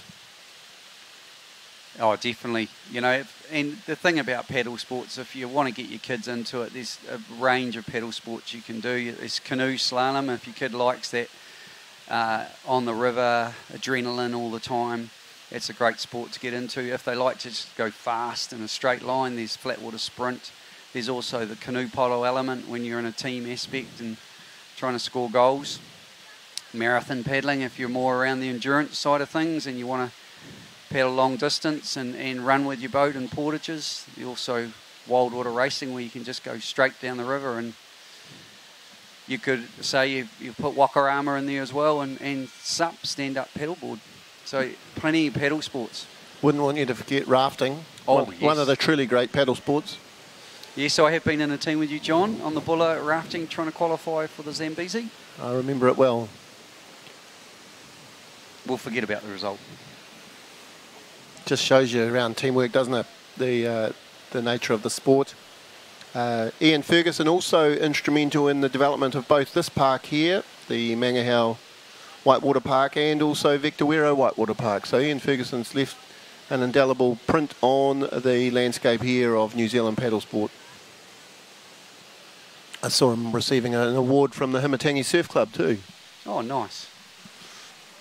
All right, we are moments away from the Women's K1 Final New Zealand Open 2020. Five minutes until start. We'll have a quick run through the top 10 that qualified this morning at the semi-finals. Kalia Kulwick. Kalia's time from this morning. Let's retrack. Kalia did a 1-3-3 this morning. Clean run for Kalia Kulwick. Casey Hales, a 132.80. Third to go this morning in the final will be Hannah Thomas, a 123.71 in the semi-finals. She will be looking for vast improvement on that. River Mutton, a nice clean run from River Mutton this morning in the semi-finals. Our under 18 River did a 122.09. Courtney Williams, 120.11. That had a touch in there. Courtney, Courtney can go faster. Monica Doria Vilarrubla from Andorra was our fifth fastest this morning in the semi-finals. A 112.38. It included four seconds of penalties, so a 108 running time. Again, looking for improvement in the final. Jane Nicholas, great time. Clean run, Jane, 111.18. Our medalists from the semi-finals only 108.72 was the time of Camille Prigent from France. Monica Wegman 106.99 clean run. Luuka Jones 5.68 seconds ahead of second place. A 101.31 Phil. Great time from Luuka Jones. Uh, it was class. She was in a class of her own this morning. I think it's just great to watch an athlete like her. She just makes it look so easy, so smooth, so relaxed. It always shows that a good athlete is always in control and never under pressure.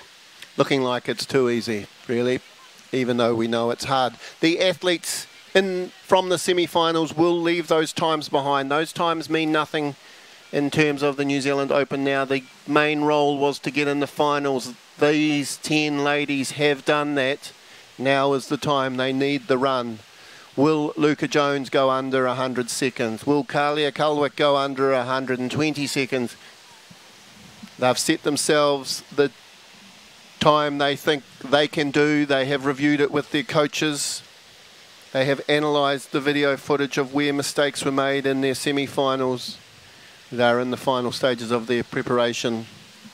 Kalia's in the starters, under starters orders. Fantastic achievement for Carly to make the final. Still very young, under 18. He's got a couple more years left in that age group. Major mistake there for Kalia this morning too. She had to pedal back for gate 20. That was a superb run that she was doing, delivering. Iron out that mistake. Yeah, definitely. And she'll really put pressure on herself to, to tidy that up. She's one of those athletes who will be going for perfection or being better every time she hops in her boat.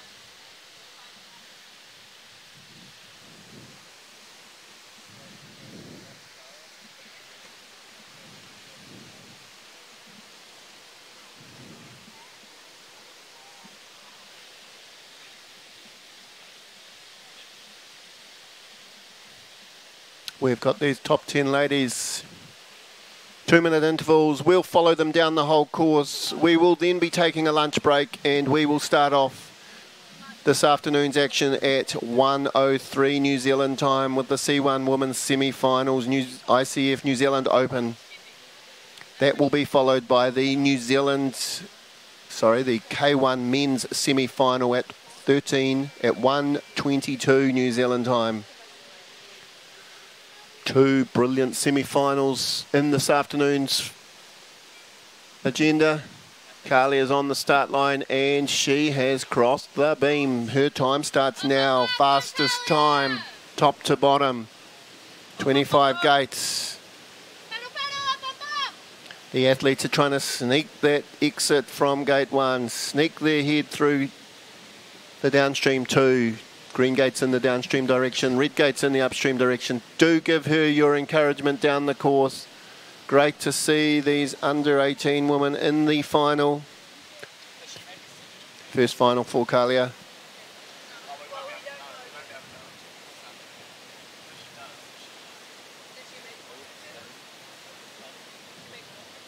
What do you think about her start, John? She has picked up a penalty early. Little nerves there from Kalia. It is her first final. She is on the start in the start pool with the big names. The warm-up pool with the big names. Always a anxiety-provoking moment till you get used to it. The nice thing about the sport is we're introducing these athletes at a younger and younger age to a bigger and bigger moment. It's got to help with racing in the future, doesn't it? Oh, definitely. Carly's got that boat dancing now through the 13 14 spin. The kid who's 16 years old warming up in the warm up pool with Luuka Jones. How cool is that? Wonderful. Cami Prigent, Monica Doria Vilarrubla. Lots of big names to come.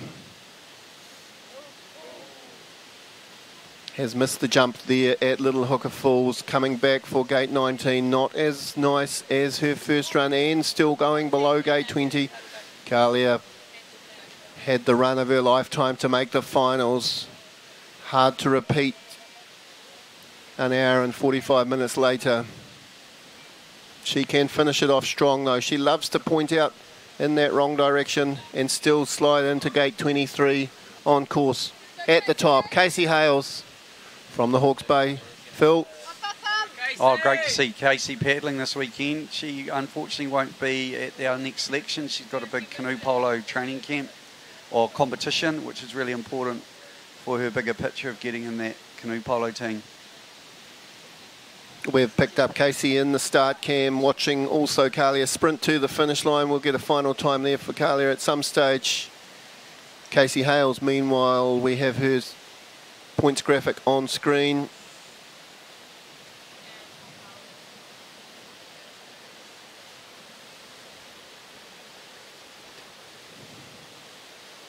A lot of downstream momentum as she came into gate 10, found it hard to make the turn as high as she might have wanted. Do you think these athletes are struggling with a little fatigue in the second run?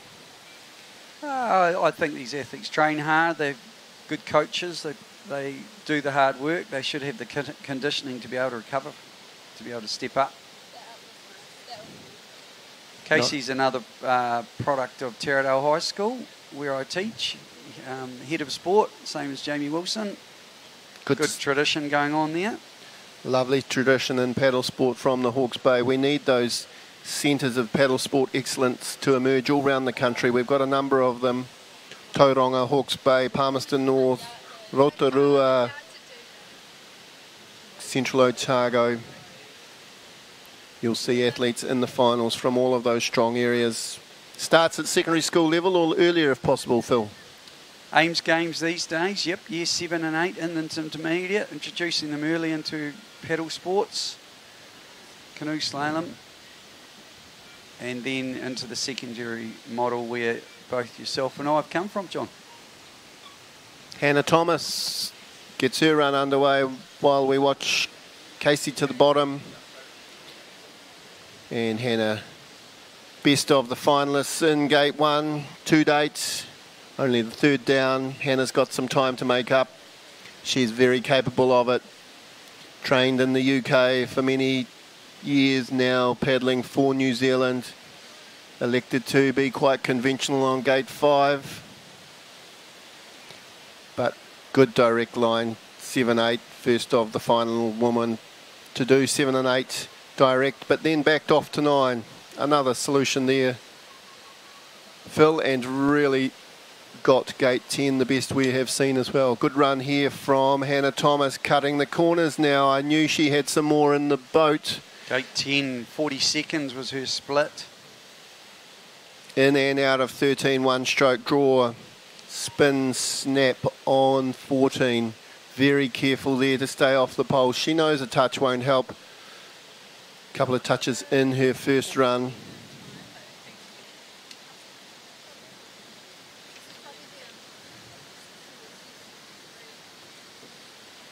She's picked up a touch on gate 19. It would appear so, and, and more costly in some ways was the loss of the Ferry Glide two gate 20. So we saw Luuka Jones run there very direct, almost a straight line there for the top paddlers. Hannah lost time both in the touch and in the line that she elected to take. Has got a nice ferry across, but been rejected from the at 24 also. So some time being given away there by Hannah Thomas at the bottom of the course.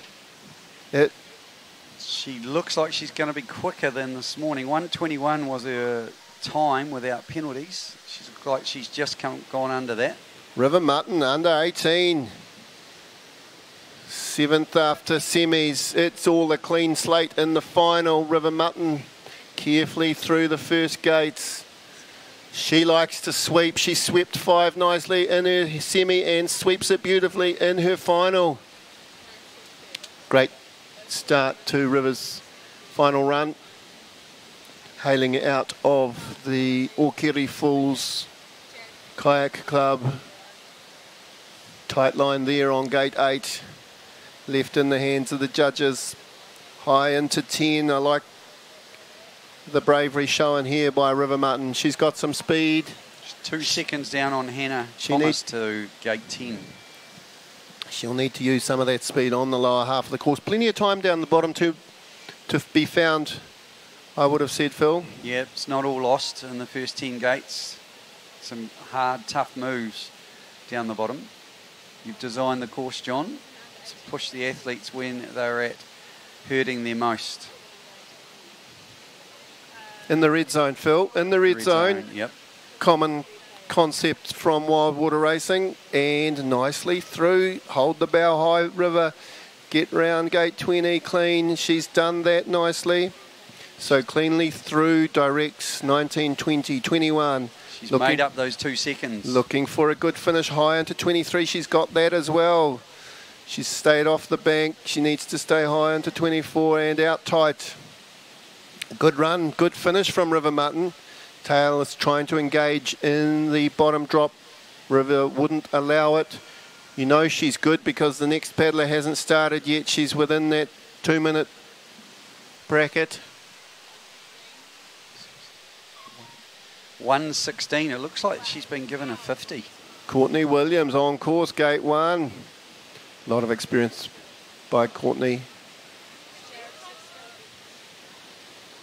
Trains at Vector Wero Whitewater Park. She sets up a good sweep for gate five.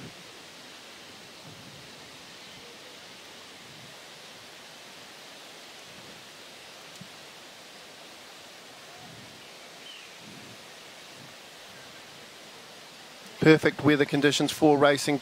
Courtney's able to run the poles very closely, knowing that they're not going to be moving via any wind. In touch with the race leaders is Courtney Williams, staying off the poles nicely, getting in, building into a run. The concept of a negative split won't be new to you, Phil. It's what the athletes are trying to do here. Do the bottom faster than they've done the top.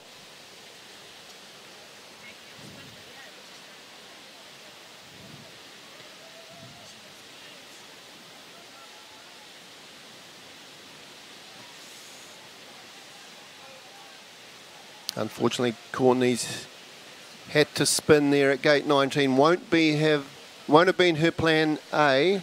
Moved into plan B very quickly. Fast to split down to that point, however, from the finalists today, and very high into gate 23. Very high into gate 23 and quickly across to 24. So, really looking to finish this. She herself is engaging the back of the boat in the hole. Not ideal to Not an ideal exit when we're stalling on the exit there, 224. Sprint to the finish. Racer has yet to start. It'll be under the... It's a 114.78, a 114. It's the quickest time so far in the final, John. Considerably quicker than her first run of a 118. Monica Doria Vilarrubla from Andorra on course. Top of the course. Monica's a quick paddler. She did a 108 with some baggage in her semi. She's got 105s in her arms. And nicely through 7-8. Staying tight. She's seen the video of Luuka Jones. She's analysed where the time is made up. She knows where she lost time. Gate 10 was one of those that Luuka took time out of everybody. Four seconds up on the split. That's a 114 split, however, so there's still time to be found in, in saying that gate 13 was not ideal for Monica. She's gone direct on 14. She's seen Luuka on the video again after semis, elected to go direct through 14, 15. They've analysed whether there's time in the spin versus time in the direct. Jumps beautifully, 19, 20 hand slips off the pedal, I think, Phil. Yes. Got uh, away with that, though. Gorgeous line through there, got to be said, and oh, tight there, through the boat into the stopper. Rejected a little bit. Eight seconds up on the 114 split. Eight seconds up. What can she do, Monica, do to finish this? Stayed off the pole at 24. Tight exit. Monica's going to go into the lead, barring a travesty. She's 100, 101, 102, 103, 104.91 with four seconds, a 108.91. Good run from Monica. Shame about the touches, cost her. Jane Nicholas, Cook Islands. Lives in Auckland, trains in Auckland, works in Auckland. Paddles for the Cook Islands.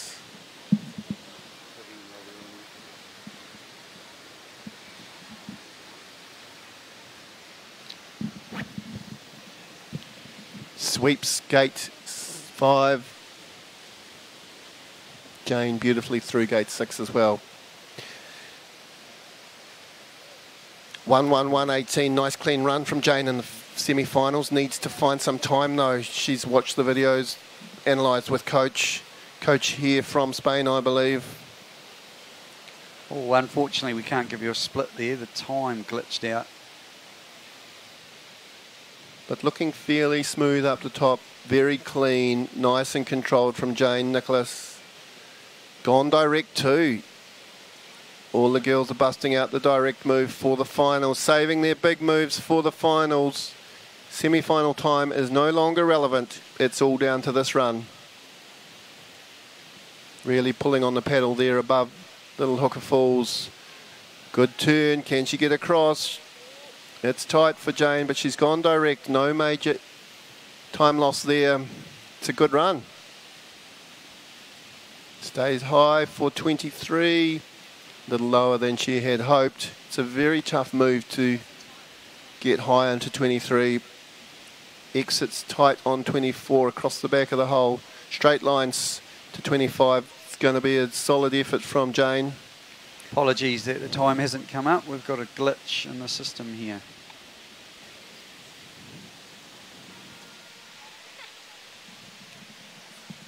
The New Zealand Open 2020, we are more than halfway through the women's K1 final. We've got our top three left to race. The very best from the finals, from the semi-finals. Camille Prigent, Camille Prigent Bib 63 needs to find time if she's to be the New Zealand Open champion 2020. World champion herself in the under 23 class. Comes from a famous family of French kayak and canoe paddlers. Very nicely through those sections. She needs to be high in 10 and she is. Great exit there. A very good run Underway here by Camille Prigent. kept the bow. You'll notice the athletes move their weight forward there, Phil, to get that bow under the pole of 13 and goes direct on 14. She's putting together a lovely run here, building into it. Like you say, negative split. Not giving anything back, holding anything back. She jumps with that left stroke, holds the bow. She's fighting to stay in. She ducks. Look pretty nice from way back here. And she's on the same time as Monica at this early, late stage. Monica was quick from 24 to the finish. Cammy's got to open it. Leave nothing behind here, Cammy. I think it's a clean run by the looks of things also.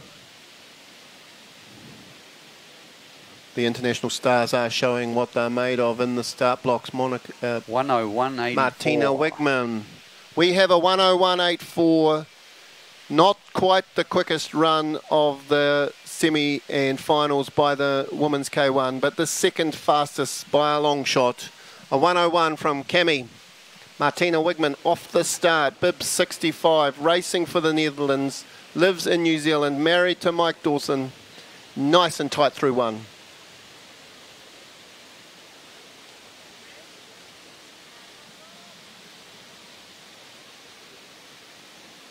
Beautifully through five. Sweep stroke. Up. Tight through six. It's a good start to Martina Wegman. Keeping it tight beautifully through seven and eight. Not needing to overturn there. Little undercooked on nine perhaps, but high in, and out of ten. Enjoying this run, enjoying this action. Brought to you by Sky Sport Next and Canoe Slalom New Zealand. Unofficial splits have Martina a couple of seconds down on the fastest time of the day at gate 14. Nice to see the ladies go direct there, put some pressure on the semi-finals and finals to come. Women's C1 and men's K1 later this afternoon. Straight lines through there for Martina Wegman through 1920. Soft touch here. They're trying to keep the bow light and in under that pole 23. Very difficult to do given the angle that Campbell Walsh, course designer, has them coming at.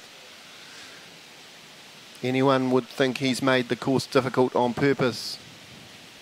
Martina sprints to the finish. Luuka Jones finishes her pre-race visualization, throws some water on her face, ready, This is the person we love to watch. ready to fire up.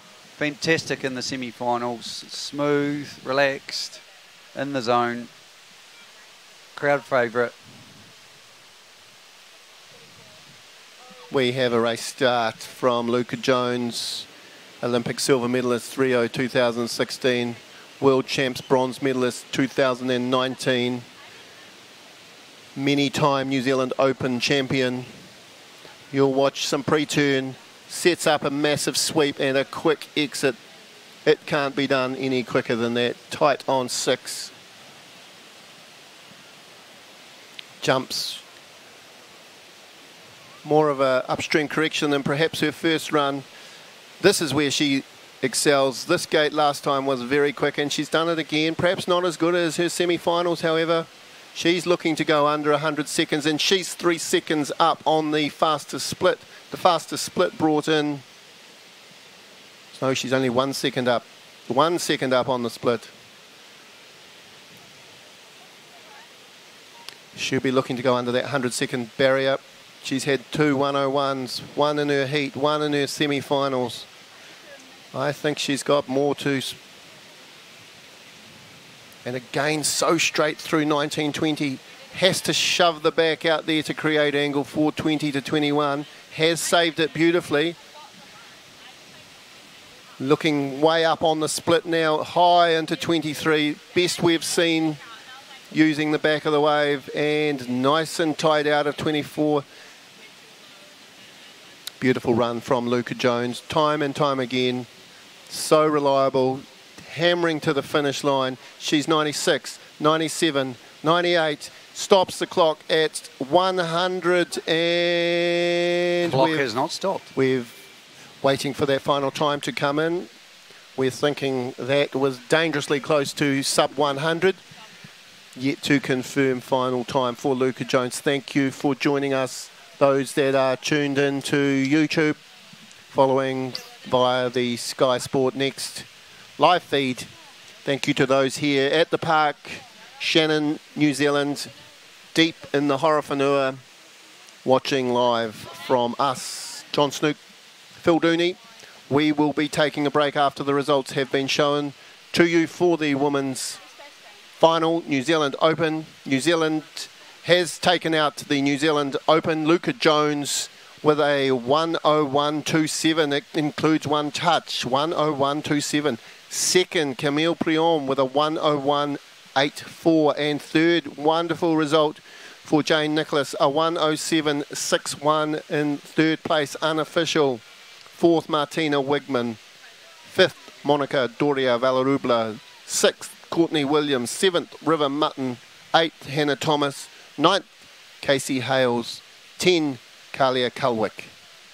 Thank you for joining us for the K1 final ICF New Zealand Open 2020. They are the unofficial results. Luuka Jones as the New Zealand champion. We will be back this afternoon, kicking off at 1.03 with the C1 Women's semi-final.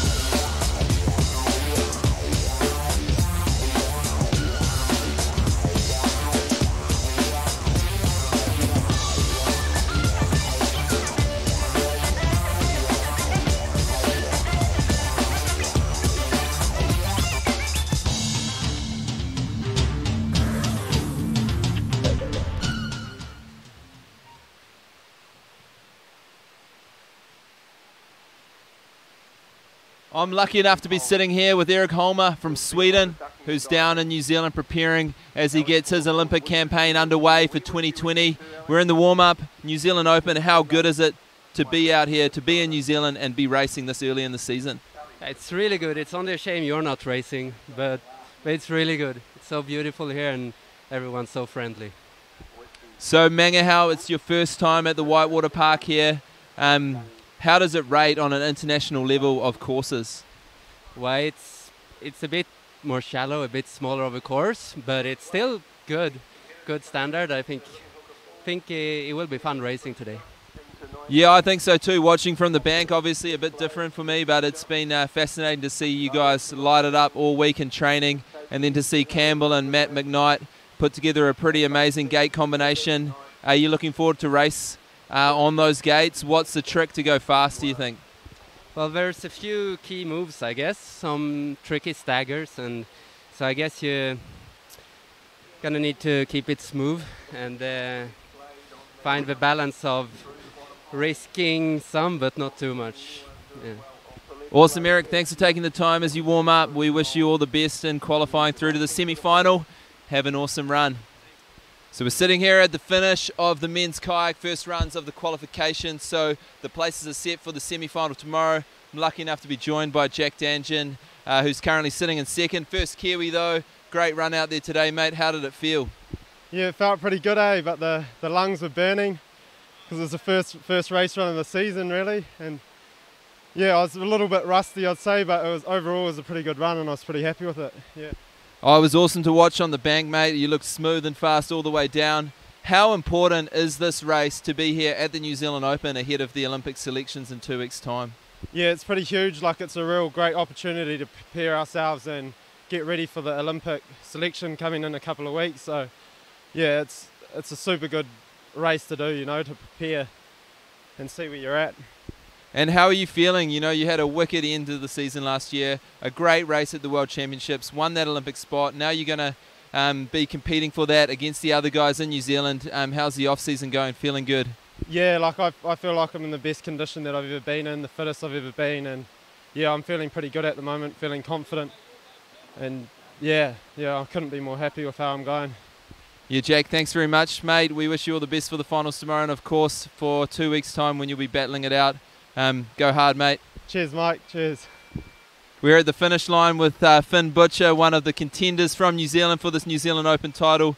How good is it to be back racing this season, mate? To be back on the water? Uh, yeah, it's pretty good. Like um, we had a big season last year and then didn't have too much time off, so just been training hard and it's good to be finally back on on the start line and um, it's good for me like to have a warm up before our Olympic selection.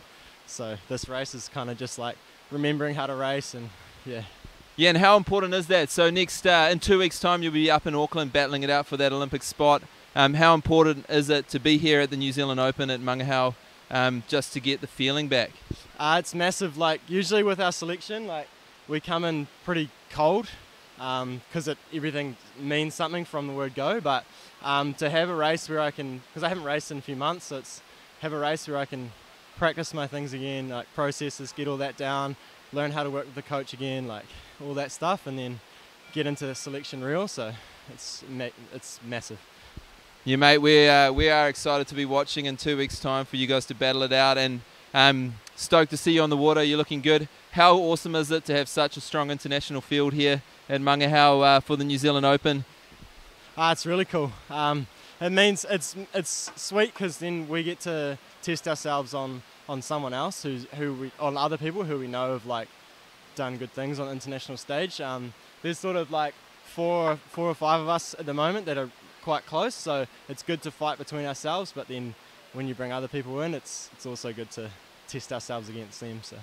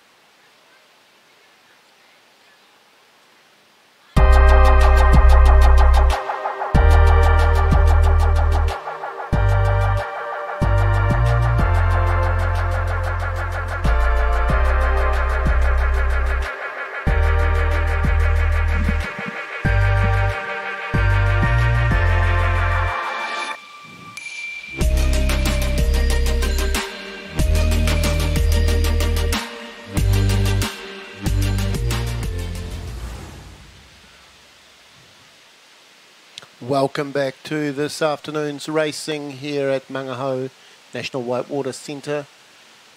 We have a top class field for today's semi-finals and finals in the women's C1 and the men's kayak. Getting underway in precisely three minutes. The women's C1 will be started with Kalia Kulwick, herself a finalist from the women's K1. Many of these athletes are backing up from previous events both today and yesterday. This is the New Zealand Open. These are the semi-finals.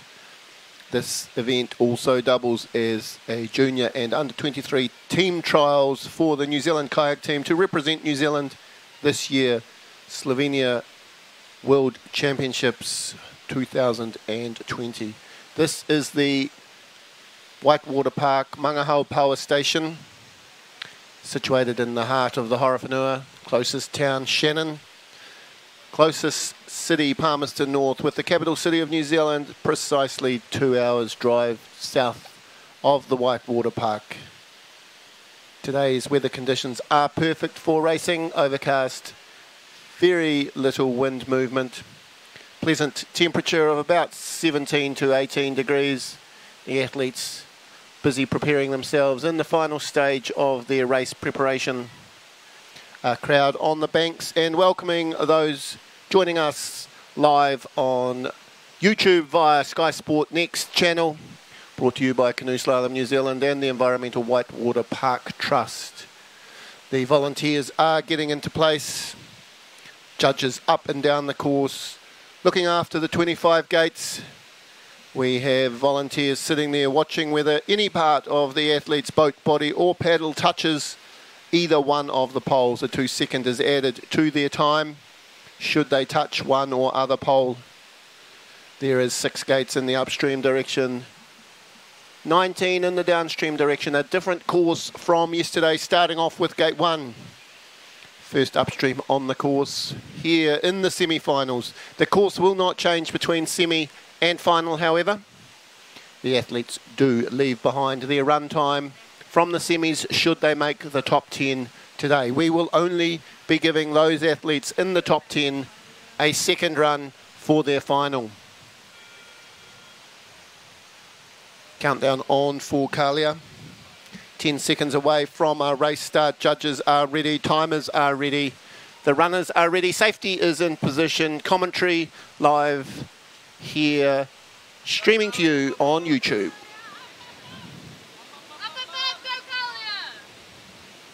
Good to hear some vocal support for Kalia Kulwick, bib number 89. Feel free to shout out to her, one of our younger paddlers on the course. Made the finals in the kayak, has done two runs already today.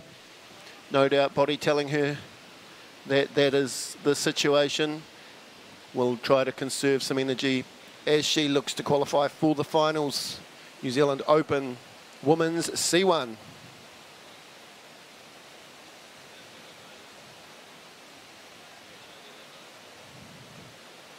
Been a long weekend of racing.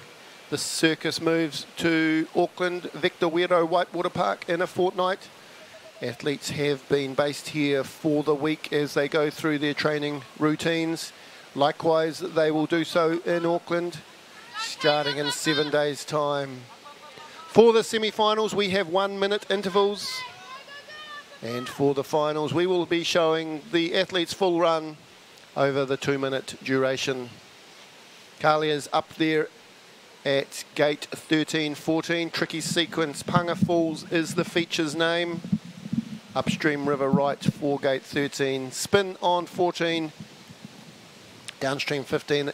Round the fast corner where line is more important than stroke rate, needing to get a good jump into gate 19. Great spin there from Kalia. Chose early to spin, pulled back on gate 20, switching to her left side. Got the double up to finish. A very complicated run, designed course designed by Campbell Walsh himself, silver medalist at 2004 Olympic Games in Athens. Jane Nicholas in the start cam view. Great run from Jane in the finals of the women's K1, racing for the Cook Islands, trying to generate an Olympic spot for the Cook Islands in both kayak women's and women's C1 categories.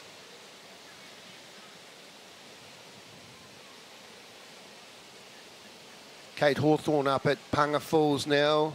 We missed Kate off the start line, bib 91, having some difficulty at gate 14.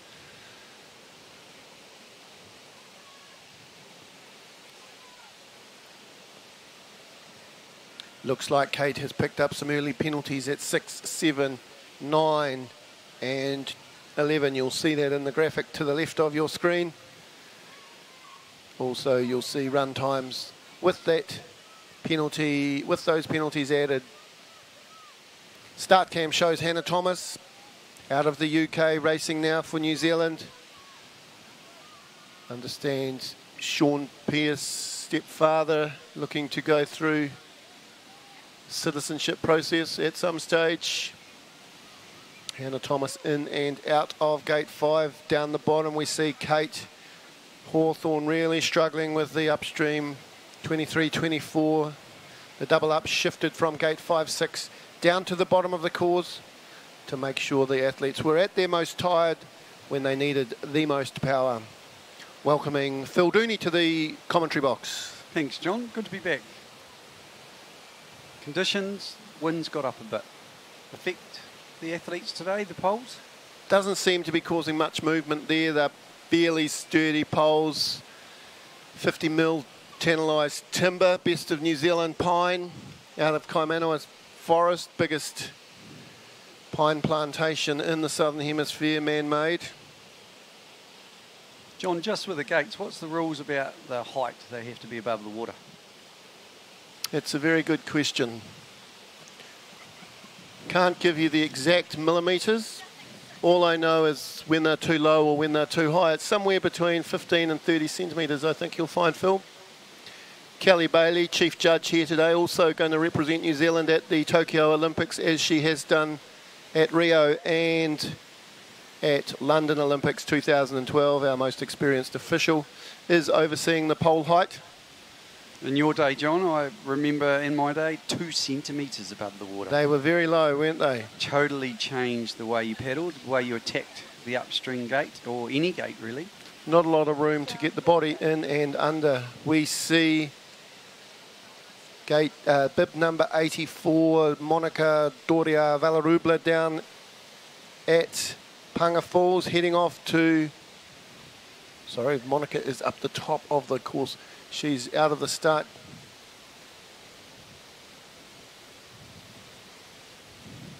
Oh, my mistake.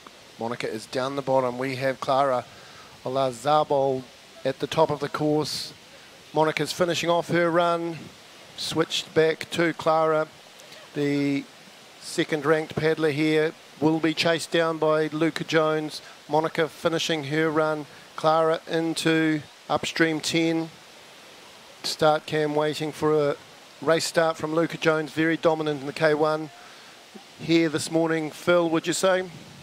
Yes. Um, you know, I've just hearing a conversation with Luuka that they can hear the commentary, and she said the pressure was on when she had heard the time that the girls had put down in the K1.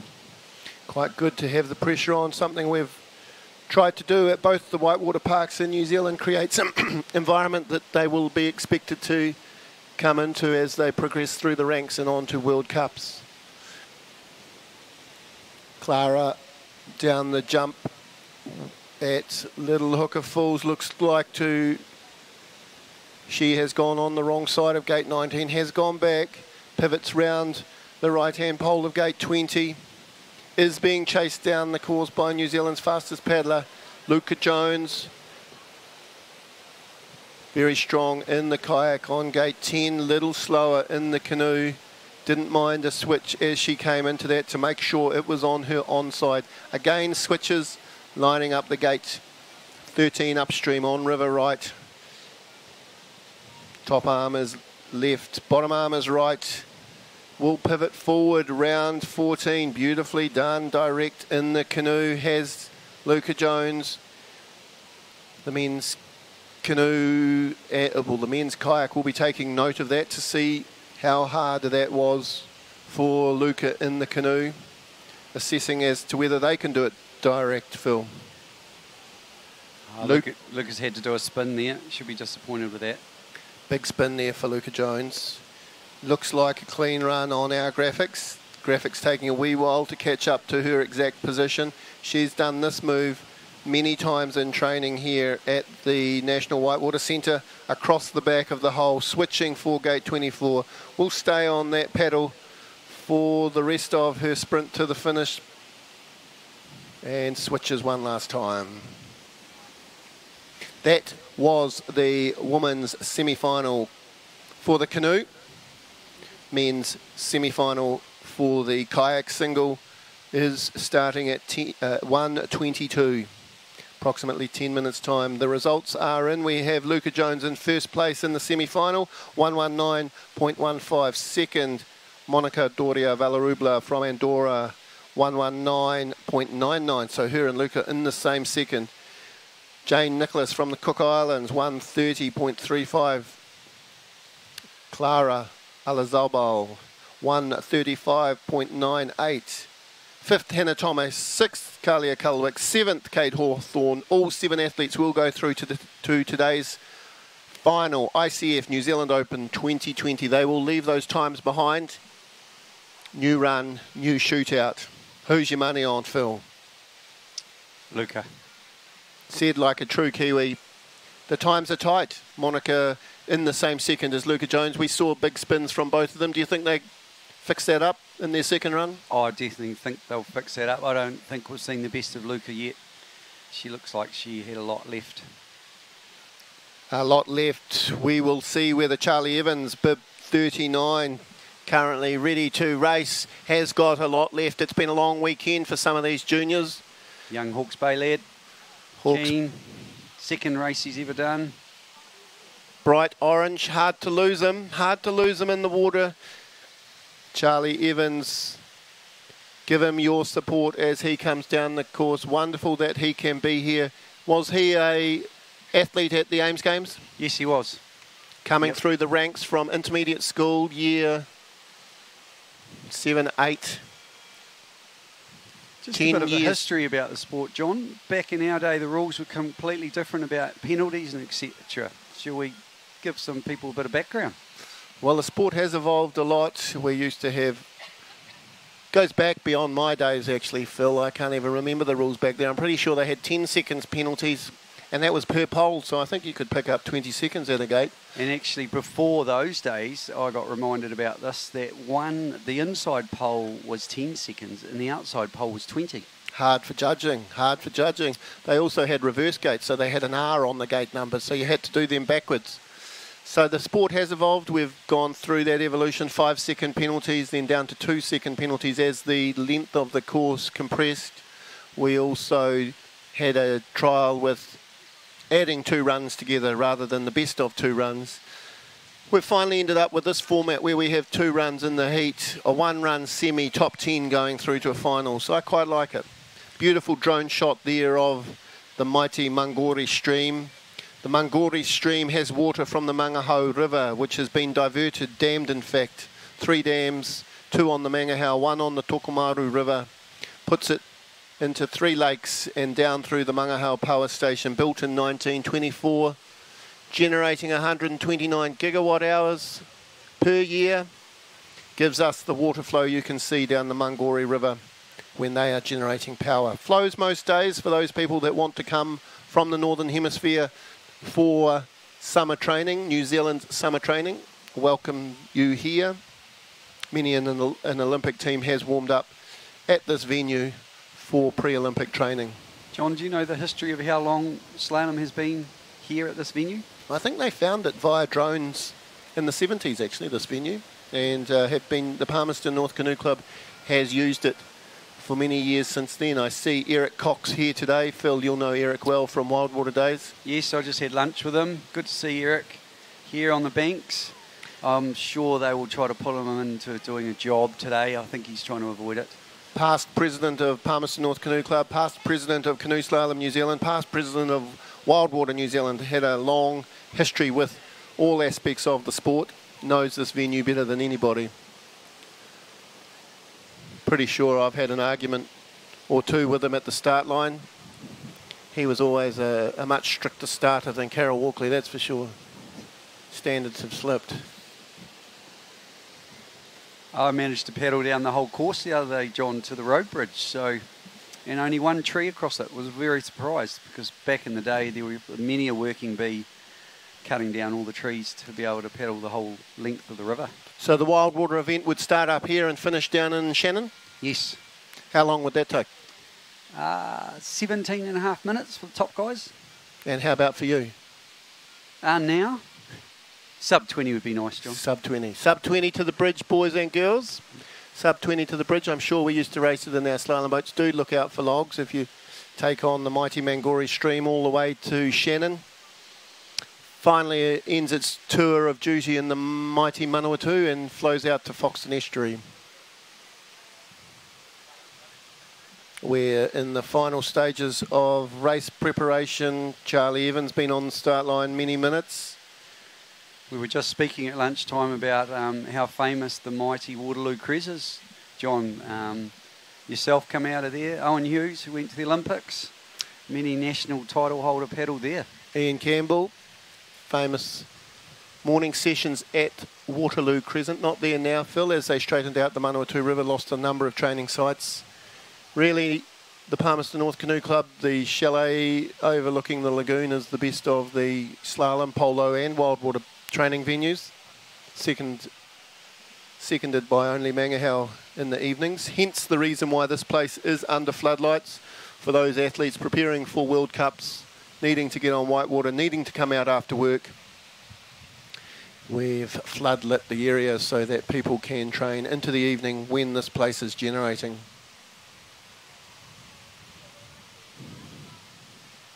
Taking some shelter now, the sun's busting out, safety is set. I see a paddler there hanging on to the bushes, setting up the plastic boats. We've got lots of safety up and down the course field, first aid, ropes for pulling the paddlers into the side, paddlers to chase anyone that has come out of their boats. Are we expecting anyone to swim down the, the venue today? Well, we hope not. We never want to see anyone take a swim we tend to have kids and paddlers that are here usually have bomb-proof rolls, being one of the harder courses. Great opportunity to thank our volunteer base again.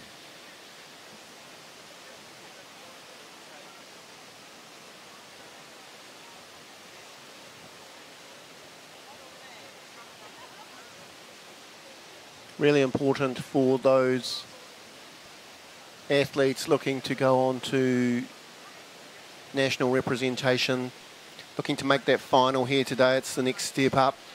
Semi-finals at the New Zealand Open into the finals, the top 10 spaces. We're expecting to see representation from under 18s, from under 23s and from open men. There's few internationals here. There's not a lot of space with 10 spaces only for the final.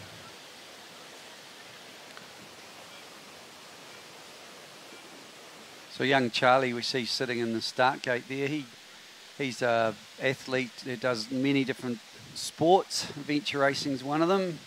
He had the opportunity to spend a week at Great Barrier Island at the Junior Nationals of Adventure Racing. Great to see these kids doing multiple sports and make a decision a decision later I what see, they want to do. I see Sport New Zealand supports that too. They've come out recently with the verdict that it's bad for children to specialise too early. It's important to expose them to a range of sports as early as possible and then to keep them multi talented for as long as possible before that specialisation takes place. What do you think about that? Oh, I totally agree with it. As a PE teacher at a high school, I see so many of those young kids who specialise at a young age and they, they hit U13 and really they're over it. They, they've lost their passion for their sport and um, they just drop out they drop out of the rep programs because they don't want to be involved anymore and just want to play maybe first 11 football with their mates or even in a social team. Such a shame to lose those people Yeah. to the New Zealand support, uh, sport environment. That's why our pedal sports is such a fantastic organisation to get involved with because there's so many different uh, ranges of pedaling you can do from you know slalom to canoe polo and keeps them interested and makes them passionate and, and all the skills cross cross over. Rafting, there's a good sport. Have I, have I mentioned rafting? Yes, you have, John. Rafting's pretty high profile sport, growing quickly, second only to waka ama. Fastest growing sport in the country is waka ama. Their sprint nationals are on now. Up at Karapiro.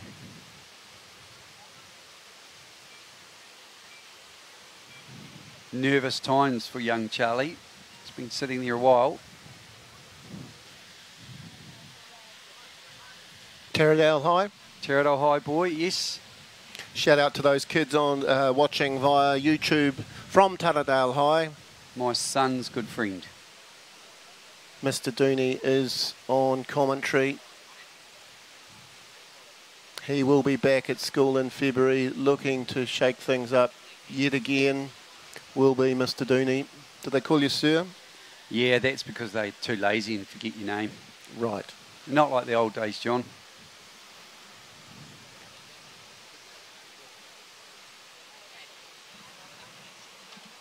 You've been camping here all week? Yes, been brilliant. Great decision to camp here in the Rombergs pop up. It's been really easy for the kids train and enjoy the venue. We've managed to get some extra sessions in when the water stayed on, which they loved. Haven't Horowhenua District Council been great with the rubbish collections? We've got toilets, showers, the lawns are mowed, the weeds are eradicated, and Charlie Evans hit gate one with some serious speed off the start line, gone out high from gate one. Nice flat turn, doesn't want too much tail there and does not want the bow to catch that eddy. Excellent roll from Charlie Evans.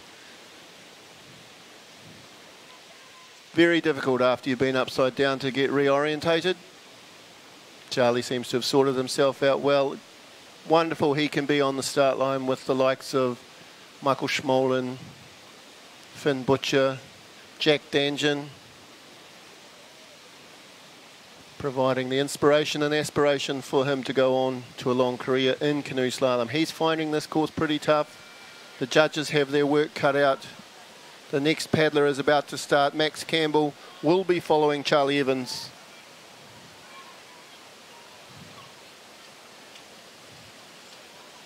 Some serious speed down there, Phil. Nice aggressive start. He'll be a little bit disappointed he dropped low into gate one.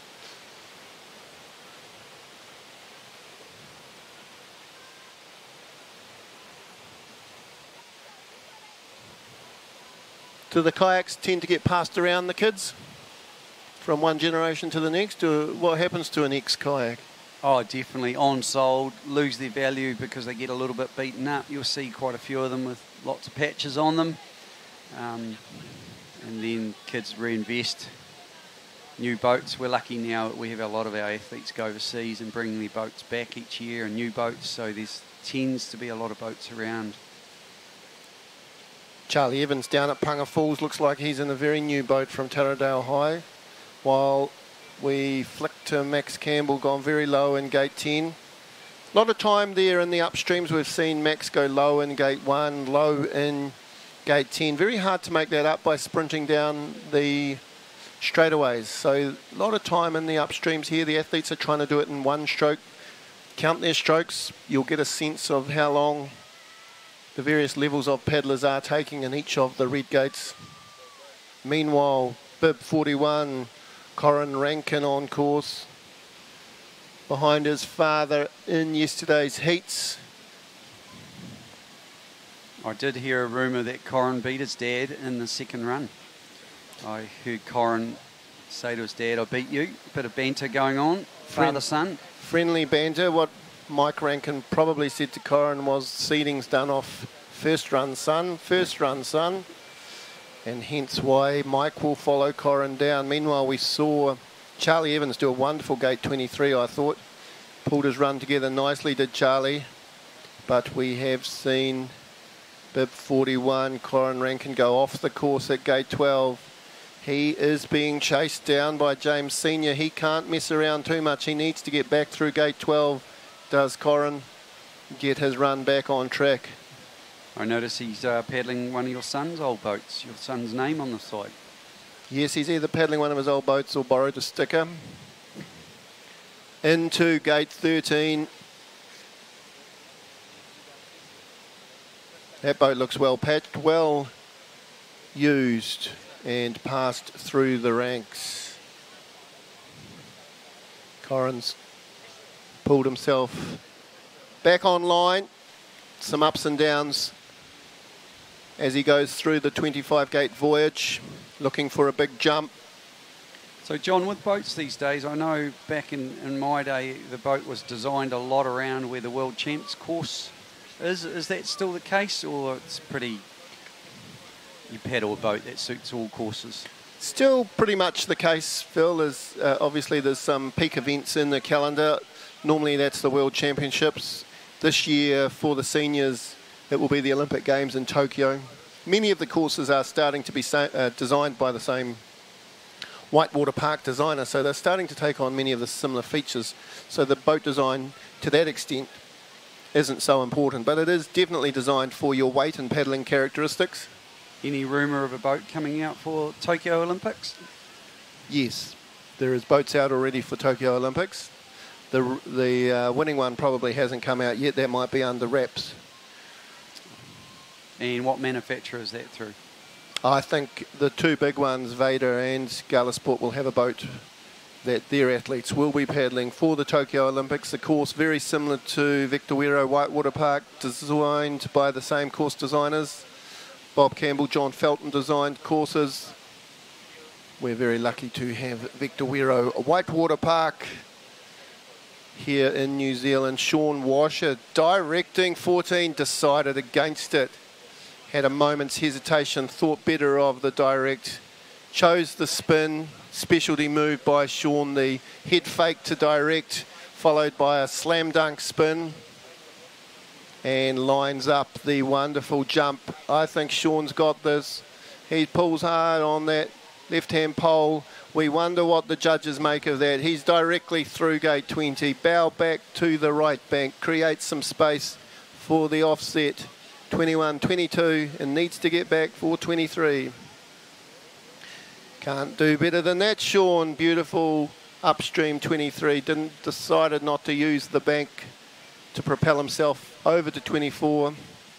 Almost looks like he's sucking in some big thoughts of oxygen. Jacob Guccione, top gate one, bib 30.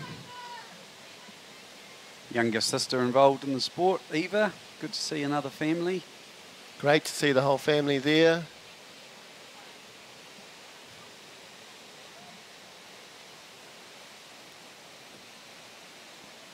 Lucas Olsen making short work of the Punga Falls section, waiting to pick him up at hooker.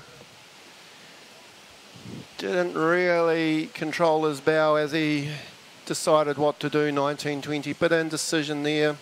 Perhaps forgot quite how important that jump was. Being super careful through this next move. Bottom hole move, didn't grab enough wave, has gone low, trying not to go below that rock. And has made the paddle back for himself much easier. At the top of the course, bib 27, Joshua Scarlett. Good start to his run.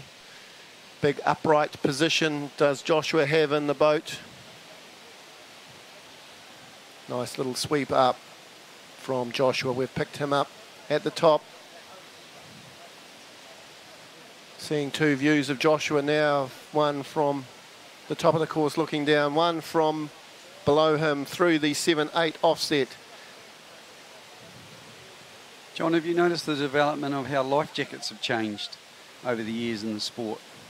Yes, they've evolved back into ones we put in our boats now, which is quite helpful, giving that extra few inches of space.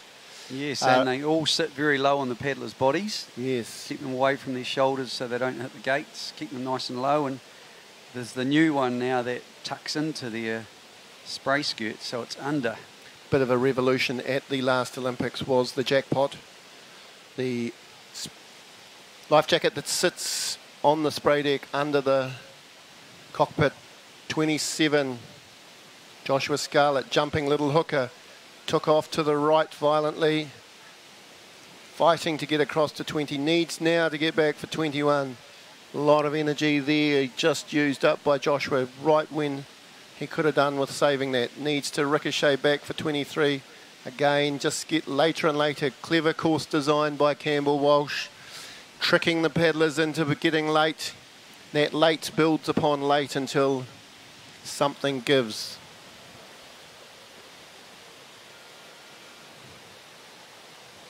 Max Wade through gate 10. Starting to get into some big names. Will Max will be followed by Ben Goodjohn, and then we have Finn Butcher.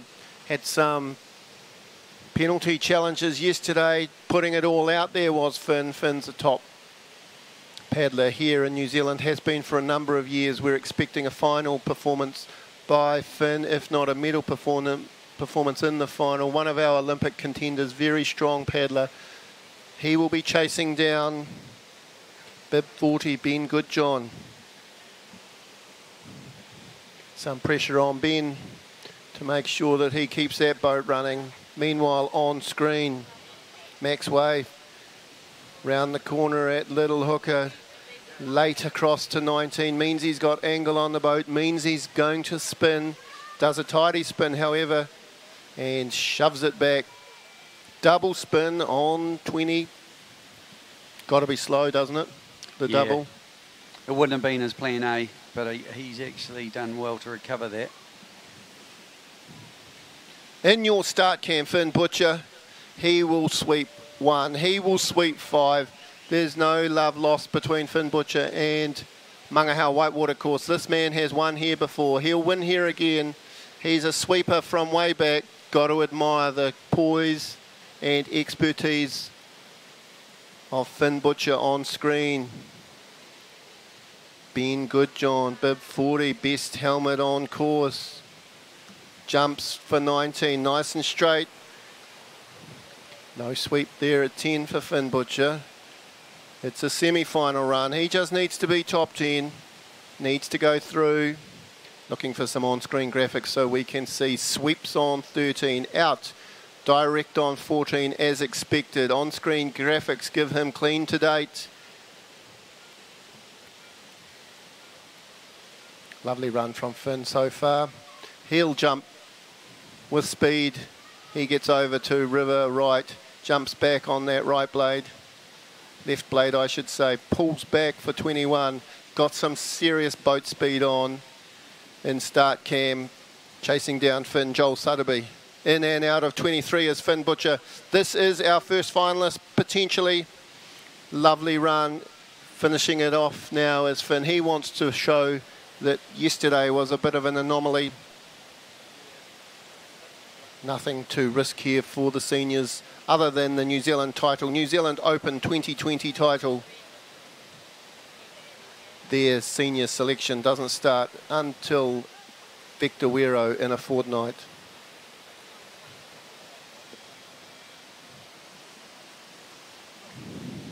Got a good young man in the start gate. John, you can tell us about his background and history. Comes from your part of the world. The dream team, the Whitewater, the Whitewater specialist is Mikkel All under the pole. Doesn't mind taking the real estate from under the pole. Bow high caused him some problems at gate two. Early days here for Mikkel as he sets up a beautiful sweep. He's got to be happy with that sweep. Not sure whether that was a wall of water or something else that moved that pole. Joel Sutterby finishing off his run. Had troubles here at the Dream Crusher 19. The Dream Crusher keeps crushing. It's trickier than it looks. And then you've still got the bottom hole to contend with this time at the bottom hole. Joel's had all sorts of issues. Dropped his paddle, dropped his edge. Hasn't dropped his lip, however. Charges on to 24. Finishes this run off like a professional. He knows it's still important. Mickle's gone direct at 14. Showing the boys how to do it is Mickle all up the top of the course, on course at the start cam. We have Vincent Bloor. Beautiful head movement through gate two there for Vinnie Bloor. Spin at gate 24. Mickle all. Nothing to lose here for these under 18 men. They're going for it. Vincent very young, 14 years old. Mickles still able to be in the junior team for another couple of years. Wants to be here for 2021 when New Zealand will host the junior and under 23 world championships. Thanks to the hard work of Canoe Slalom New Zealand and the International Canoe Federation. Vincent Bloor struggling at gate 10, throwing some moments in his boat. Thought he was in a freestyle competition there momentarily, sorting out his foot position as he heads into the lower half of the course is Vincent Bloor. The bow came round high.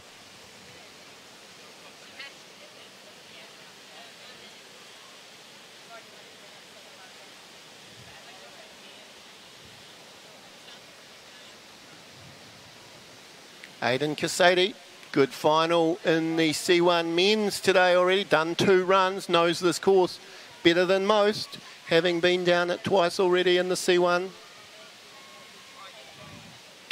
Poor old Vincent pushing hard now. It's still a wee way to the finish for Vinny. Starts to look a bit like treacle down there when you get tired, doesn't it?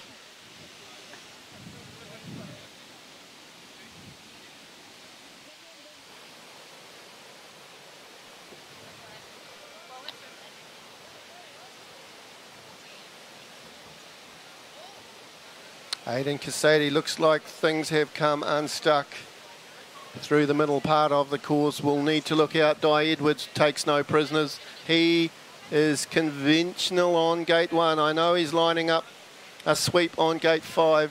Went has, out. Has he promised to do everything direct today, John? He promises a lot. Let's see what he delivers. He's setting it up now. There it goes. There it goes. It was in the sights. Full credit for the attempt. He's got his run back on track.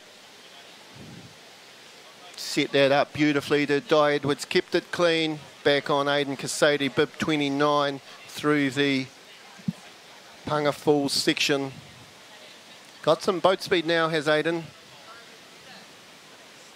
Very important that he finishes off this run, gives himself the confidence to leave this venue today. It will be his only run on the course today in the kayak and he needs to finish it off strongly so he can take his lessons into the race in a fortnight at Vector Wero. Ashton Blair, also a finalist in the C1. John, you talked yesterday about our Olympic history in the sport. Do you want to briefly go over that again for our viewers?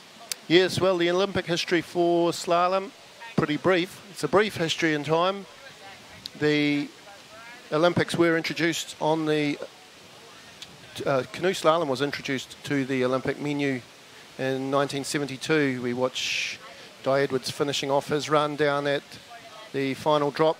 Interested to see how he does. Gate 23 in high to 23. Lovely for Dai out low across to 24. Needs to sneak out there without going in the hole. He's just undercooked that a bit, unfortunately. He'll get back in the eddy, take his exit again. Hard course. 72 was the first Olympics for slalom, and the Munich Olympics wasn't to re-enter the fray until 1992 in Barcelona, in which Donald Johnson valiantly represented New Zealand. Top world-class paddler for New Zealand was Donald, with some podium positions in World Cups. Uh, and a podium position in actually the 1991 pre-Olympic race. Unfortunately, the Olympics wasn't to be his swan song, and no medal there for New Zealand. Not until uh, later, nine, uh, 2016 was New Zealand's first medal at the slalom Olympics with Luuka Jones, who's racing here today, Phil. Mike Rankin on course. Father challenge begins again. Mike is one of those paddlers who's trying not to paddle old school technique. It's looking nice and tidy for 12 and 14, 12, 13, 14. He's got those bent paddles you were talking about earlier today.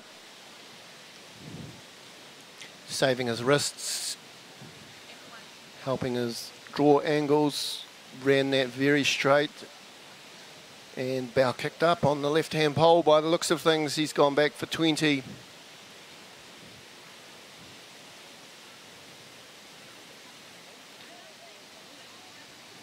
Finn Anderson, great run in the C1 this morning for Finn Anderson.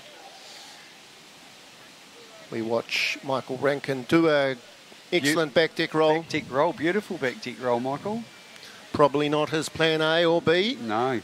Move to plan C. Finn drags the bow round at gate 13. Looked at like it went high for him. Chose to spin.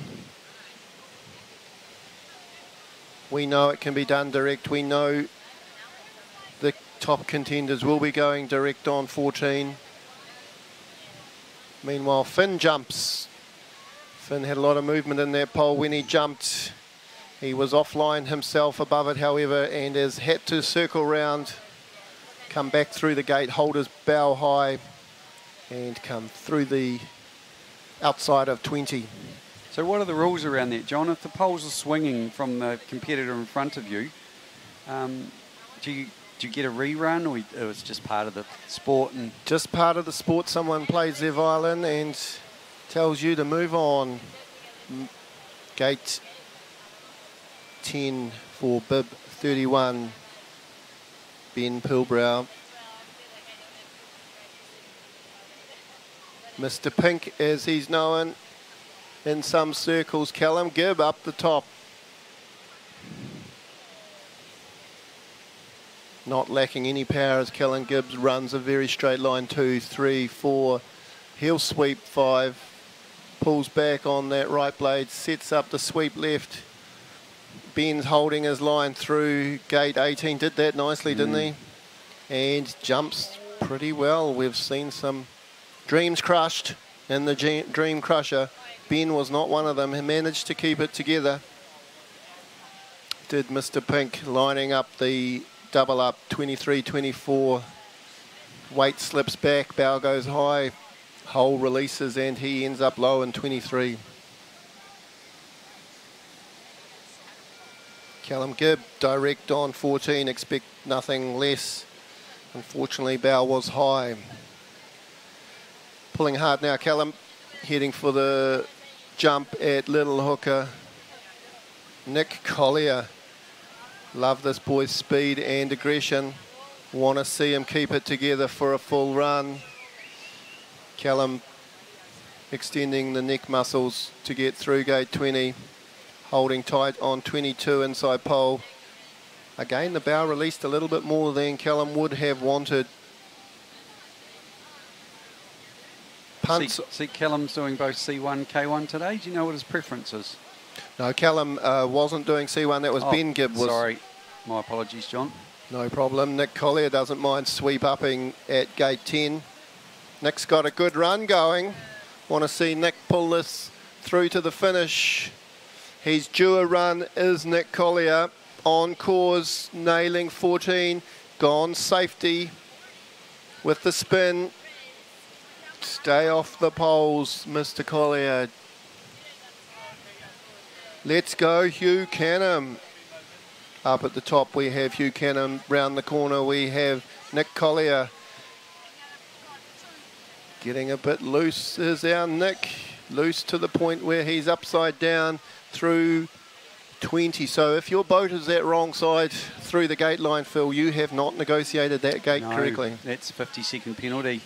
So I think Nick's going back around because it could have been could go either way there with the judges. So to be safe, he's I believe negotiated you, that gate correctly. Yeah, I believe if you renegotiate it, it's now uh, back to a zero. Nick finishes off his run. Not sure it'll be next day for a final, unfortunately. A great start to his run. Meanwhile, Hugh Canham still with lots to do able to make finals. Touch at gate 5, something at gate 14. Not sure what the judges will say there. Sean Higgins off the start block. Another paddler who's had a couple of runs already, semi-finals, finals in the C1. Sean paddles both classes very nicely. Hugh's gone beautifully through 19 to 20. He got across really well from 18 to 19. Didn't leave it late at all. Set that 19 jump up well and came back for 20. Been studying the Luuka Jones videos, has Hugh Canham. Just a bit choppy on the woodwork, damaging the furniture on his way down the course. It's been a good run for the young man. Sean Higgins in and out of gate 10. Seniors have done a lot of training at this venue, Phil. Yeah, they are lucky enough to have a training camp here during the year where we get four days water release. And they've had all of this week on the water, two sessions a day, except Thursday, day off. Bet they needed it. Yes. Beautifully up there is Jared Williams in gate one. Jared Williams off to a stormer. You'll see him in your start cam video. He's chasing down the course. Sean Higgins. Sean's holding it together. Nice and tight is Sean Higgins. He's got to finish this off, keep his weight down on this jump. Surf the back of that hole in high into 23. Jared Williams interested to see how the rest of his run is going. We're back at gate 10 with Jared Williams. He's got lots of opportunity to get in the junior team, does Jared? Third after yesterday's race. Hammering today's race four races to make junior team the best three of the four. Took 14 nice and cautious. Cole O'Connor Stratton up the top. We watch Jared Williams round the corner jumping into 19. Trouble there at 19 for Jared. Came out above the gate, which is fine. Pole was moving vigorously, probably not the wind.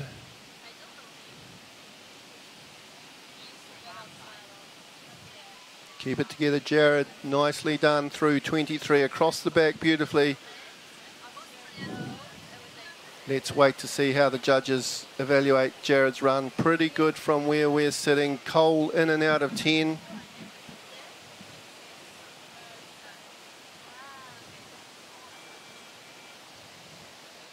Moving into those paddlers now, Phil, with the world ranking.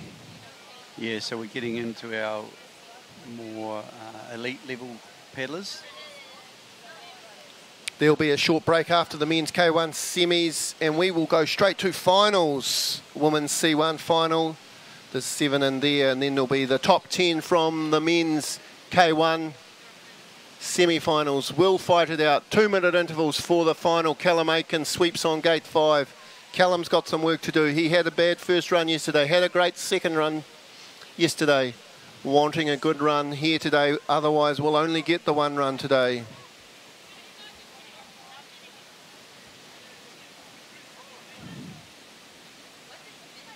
Cole down the bottom, throwing the bow high.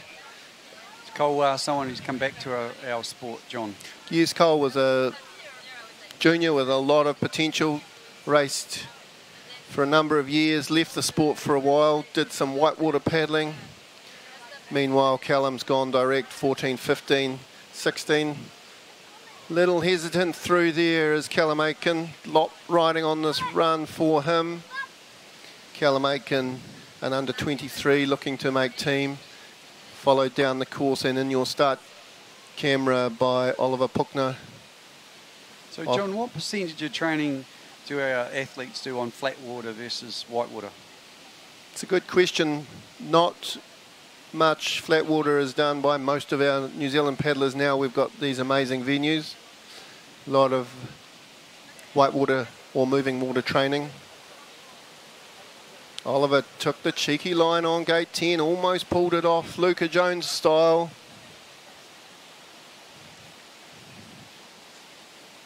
I'm wondering if the two runs in the C1 has made life hard for some of these athletes. They're looking a bit tired on it. needing to refocus. It's a difficult course here. Will Nelson in your start camera into gate one. This boy paddles well, but unlucky not to be in the junior team. Looking to be in the under 23 team. Has shown a lot of potential for many years, and there's a beautiful example of how to do gate five from Will Nelson. Oliver down the bottom hole.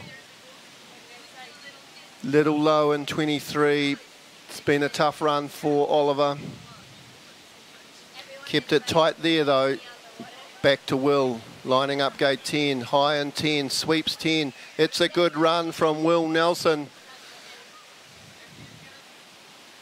There's the curse. Commentator's curse picks up a penalty. High into 13, electing to go direct. Will Nelson direct and tight as. Watching Will down the top of the course. George in start cam. George Snook. Commentate your son down the river. I'll just finish off with little Will Nelson. George has done gate five pretty well. You'll have seen that in the start cam. Meanwhile, Will's done 1920 direct. He's got a good run going. He's light on the bow, light on the boat. Beautiful touch there, high into the punt on 23. I'm liking Will's run. There is some penalties on his time, but if he can keep it clean from here, picking up George through 11 12, pushing George through. has represented New Zealand already at a real young age twice at the Junior Worlds. He can still go two more times, so fantastic future for this young man. using a lot of energy through that 14 15 direct beautiful line we're looking at his jump into 19 he's got across there early holding the bow straight fighting to get across to 20 created some space and nice line there back to 21 a good run going here nice and light here i know he knows how to do this move he's lost the bow he'll fight back from the bottom of that eddy at 23 He's looking to sneak out there. He needs to make up some time across the bottom of 24. In the start, we have Jack Egan chasing George down. George sprints to the finish. We'll wait to see who makes the top 10. Jack Egan fighting to get into the upstream 10.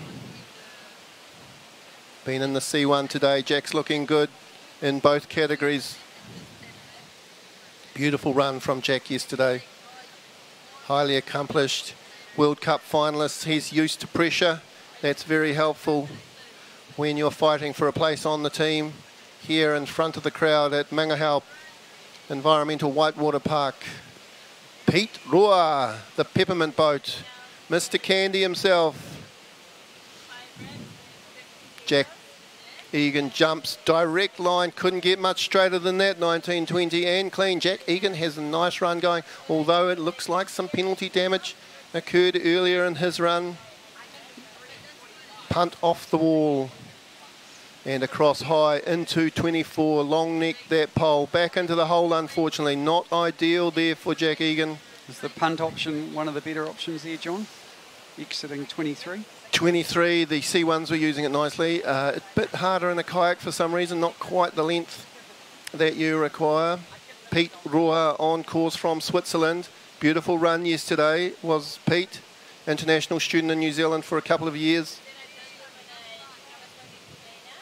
Lives in Okere Falls. Hard to tell him where the best place in New Zealand is. Upstream and in the start one is Damien Torwick. Got across early on 19. That is the line there, Mr. Pete. And done that nice and straight. Perhaps not as quick as Jack Egan, but pretty clean run here from Pete. How will he finish it? Does he keep the bow light? He does. In high to 23. Out across the back. Waiting to see Damien Torwick in action. Very strong junior. Comes straight into the under 23s from the under 18s. Out of Tauranga Boys, they run a fantastic program. Tauranga Boys, they've won the New Zealand Secondary School overall title, top school for, I think we've lost count. Thanks to Rob Sperling. Rob Sperling, years of hard work and dedication. I could imagine we'd uh, be in the hundreds, the amount of kids he's introduced to our sport, John. I think you're right. Erik Holmer, Sweden, gate one, very conventional, very quick, very fast as Erik. And his off-season training come to join us here at the New Zealand Open 2020, brought to you by Canoe Slalom New Zealand, Sky Sport Next, and the Environmental Whitewater Park Trust. You have the very best in world's men's kayak, racing it out for the title. Damien Torwick on course, perhaps a touch, perhaps a good time. Erik will go in high, little wide for his liking, not quite as quick as he would have expected.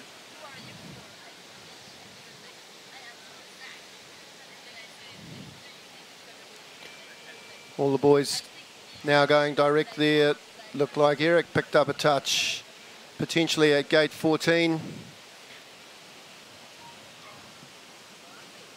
Jerome Martin, Switzerland, sweep up and tight out. Beautiful upstream from Jerome. Not sure we've seen it done any better than that in the semi-finals of the men's. Sets up five as well, nicely. Boat stalled, unfortunately, on the tail. But a good run started by Jerome. Erik's finishing off his run down the bottom hole. We pick up Jerome, 7-8. Quick. Nice. I think that's the best we've seen through there, John. Beautiful deviation and sweep out. I think we've got a pretty special run from Jerome at this stage. He'll need to attack this middle part of the course, but he's on a blinder. Sweep and pop there as well. Round.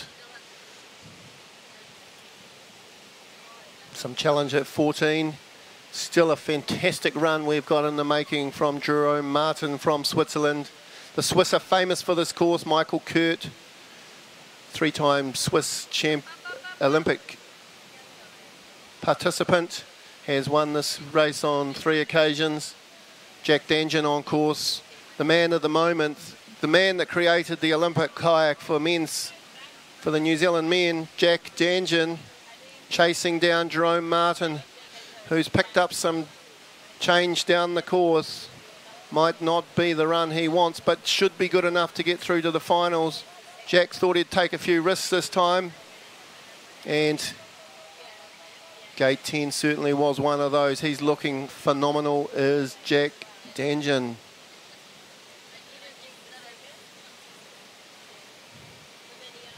Beautifully through 13, 14 is Jack he wants that Olympic boat. He generated it. He wants to race it. He's got his work cut out and he's performing nicely. He will be chased down by Zach Mutton. Sister was the one of the top finalists here today in the women's K1. Under 18 lady finished second on the Kiwis, I think. Great result for River Mutton. Can Zach follow up the medal from his sister with a medal for himself? Meanwhile, bottom of the course, Jack's gone low. Not a normal Jack line into gates 23 at all.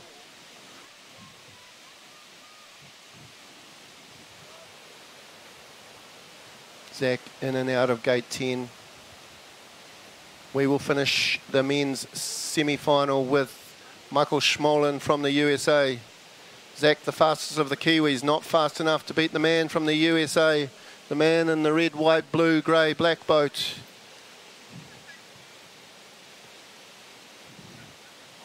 Good boat speed there by Zach. Yeah, he's building into a good run here. Just letting it glide. Lovely Yeah. glide, isn't it? Nice control. Good jump. Nothing to panic about. Nice. Direct line there, 1920. Michael Smolen on course. This will be a sweep up. There you go. No bottom involved. Beautifully flat boat.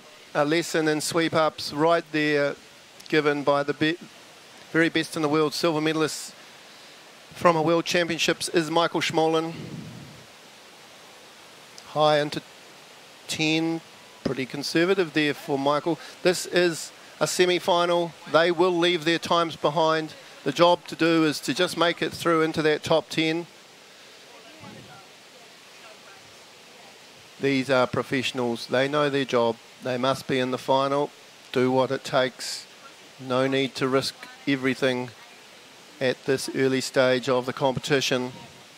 I like Zach, Michael carrying great speed around the corner. He's, he's looks like he's just holding back.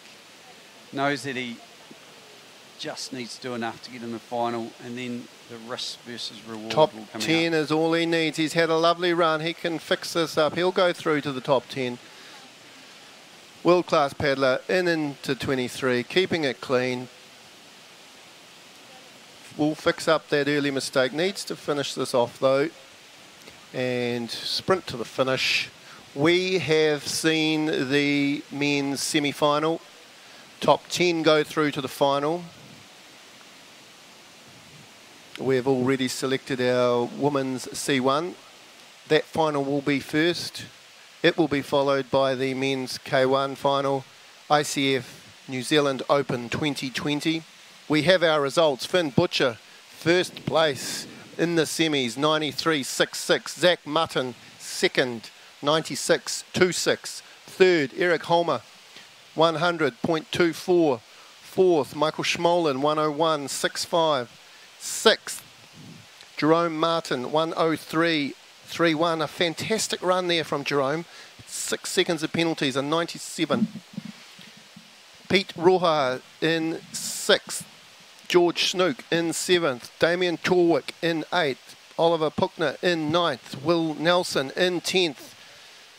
There our top 10 as per the unofficial results. Unlucky Mickle All in 11th, Jared Williams in 12th, Hugh Canham 13th, 14th, Sean Higgins 15th, Cole O'Connor Stratton 16th, Finn Anderson 17th, Ashton Blair 18th, Bill Ben Pilbrow 19th, Nicholas Collier 20th, Josh Scarlett. So what do you think about that, John? Three seconds, Finn. Wonderful run by Finn Butcher. Zach Martin made a couple of mistakes, low into one of those gates, I believe. It's going to set us up for an excellent final.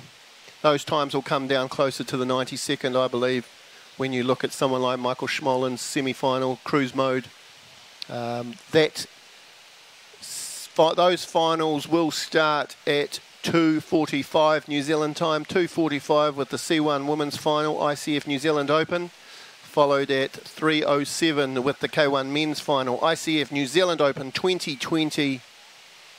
I've been John Snook. This is Phil Dooney. We are signing off. There is a short break for 40 minutes until those finals begin.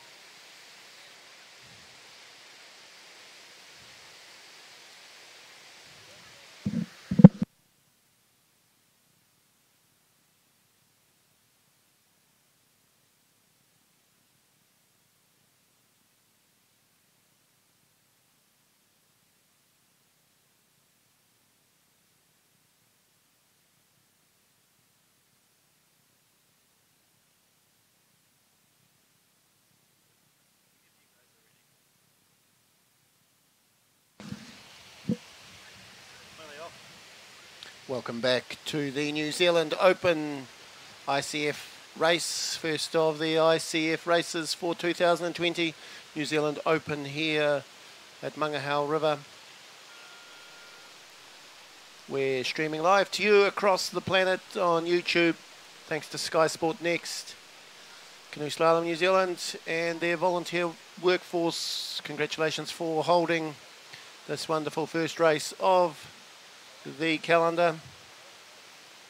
We're moments away from a race start in the women's C1 final.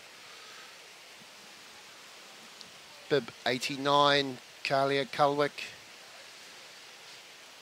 First semi-final tyre, 153. Eight seconds of penalties in there. Kalia had some problems around the course, both with her line and with the gates, looking to tidy things up. The winning time from the semi-finals was a 117. One of our international paddlers, Monica Doria Vilarrubla from Andorra, was first through in the semi-finals. Those times are left behind as we race the finals, the medal race, the one that will crown our New Zealand Open champion 2020. And we are underway here at the Whitewater Park.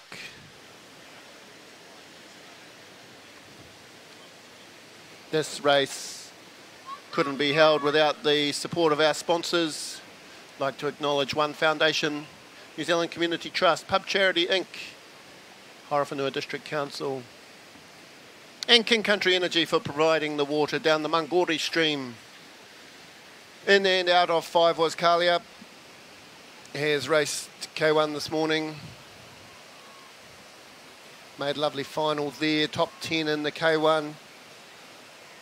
Small field here in the C1 Women's looking to grow the sport in New Zealand. Great to see the under 18s taking part, jamming the bow in there under gate 10.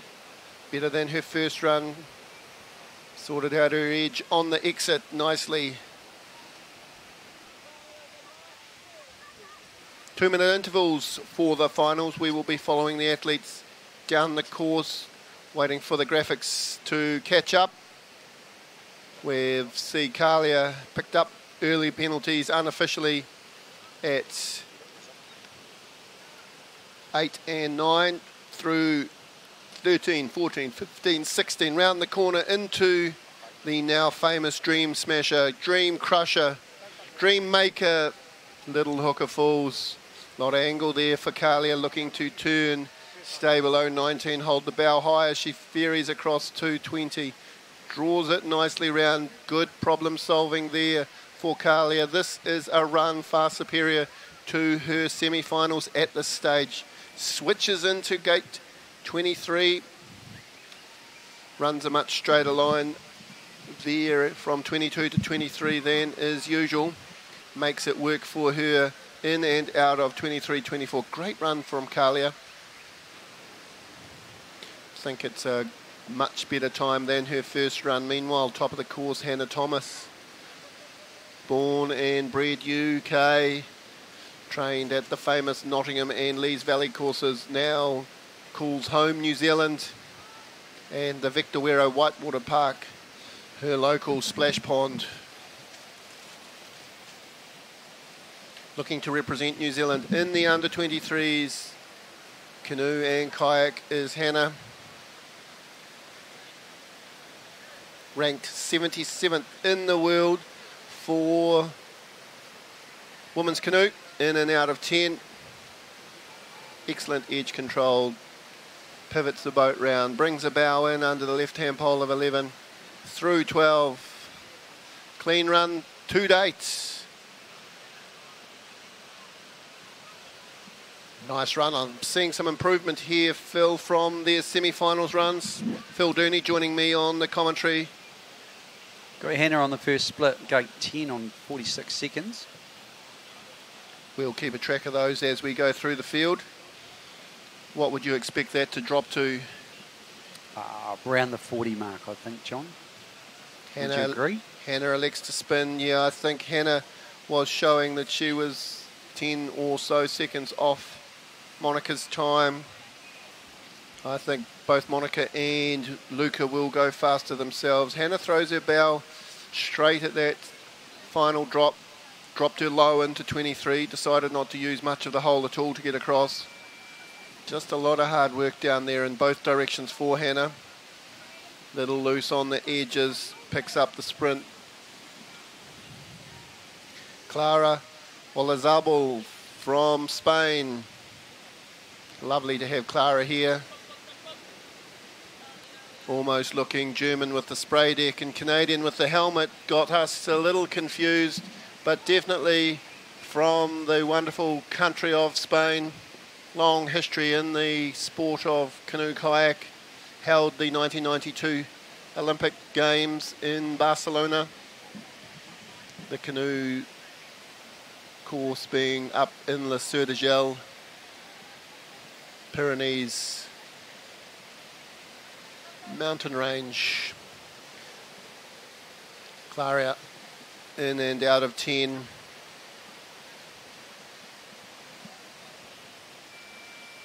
Clara's looking like she's four seconds up on the split of Hannah. Clean to date, if the on-screen graphics are to be believed. These are unofficial results. Direct on 14. Long necks 15. Beautiful run coming together for Clara. Electing not to split, uh, to switch very often offside round that corner, jumping on the right blade into the spin out high. Nicely done. Five seconds up on the Hannah's split to date. Clean to date. High into 23 to date. This is a good run. Might be the benchmark time for the finals. Not many in the finals. Seven athletes only competing for title of New Zealand Open. Good run from Clara. Hauling herself out of that bottom hole. Switching now to the right hand side. Sprinting to the finish. Waiting to see final times. We're looking at 16, 17. Stops the clock at 18. Clean. Jane Nicholas spellbinding in both the kayak and the canoe today, racing for Cook Islands, looking to create Cook Island history. Has had some troubles in the first three gates.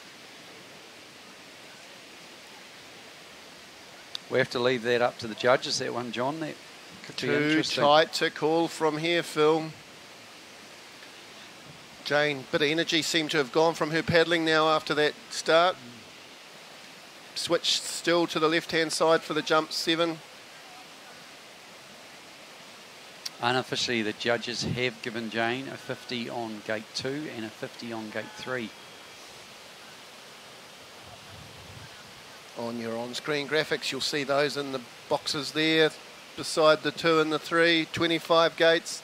The red gates are in the upstream direction. Greens are downstream. Thank you for joining us for the weekend. You are watching the finals. K1, C1 woman, K1 men through the water feature. Punga Falls been causing paddlers problems since 2001. But Jane makes easy work of it here, 2020.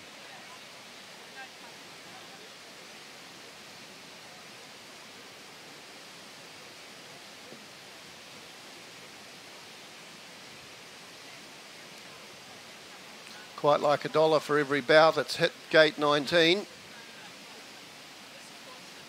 This course was designed by Campbell Walsh, coach here in New Zealand for the last four or five years. Done a great job bringing the sport on, bringing in the analytical eye of a Olympic champion. Jane nicely in and out of 24. Luuka Jones, surprisingly not in first after semis. Not happy with second. Looking to see some magic from the blue canoe. That is the Luuka Jones Walker. Lots of pre-turn into five. One stroke draws.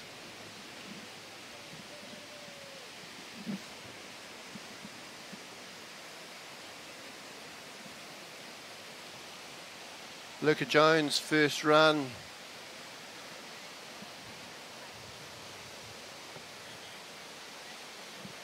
119. A Couple of seconds behind Monica Doria Vilarrubla from Andorra with a 117.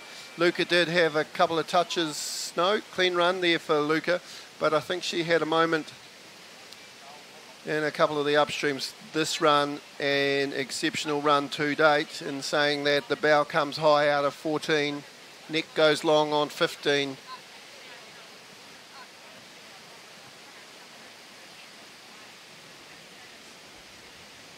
wonderful how she just keeps that boat gliding Phil Always moving forward.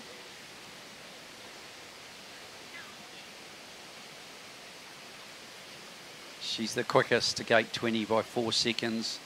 well up on split, down with a couple of penalties. No penalties to show to date actually, but I haven't got any graphics for you. Nicely through 2024. It's a quick run. But in the start pool, the quickest from the semis, Monica Andorra, the Principality tax haven that is Andorra. Plenty of duty free shopping to be done in Andorra. We all love going to Andorra, John. Many a trip there in the European summers.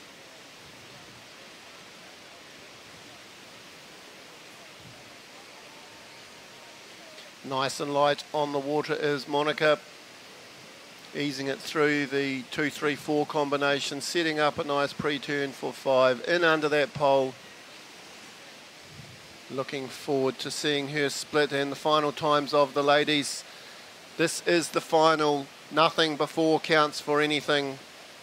Anyone can be the champion. Monica elects to switch causing herself some time delay might have interfered with her being late at nine. Good through 10 little touches creeping in. Do you think fatigue plays a part at this point? Oh, I- I would say definitely for the women who have both done K1 and C1 this weekend. It's quite a few runs and it, just that fatigue, accumulated fatigue over time. how was that safe? Created some seriously good angles there did monica kept her off the poles allowed her to flow the movement keep the boat pointing towards the finish line angle across there is great into a spin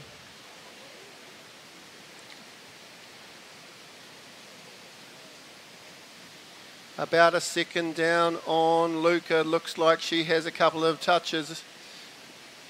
She's really going to have to get this move right, John, to pick up that time. There's a bit of time there now. We don't want to call it too early. Monica's dealing with the bottom drop, surfs out across there. Very careful with her edges as she surfs out across the back of that hole. Switching to the finish line, milking the fast current of water, staying hard right.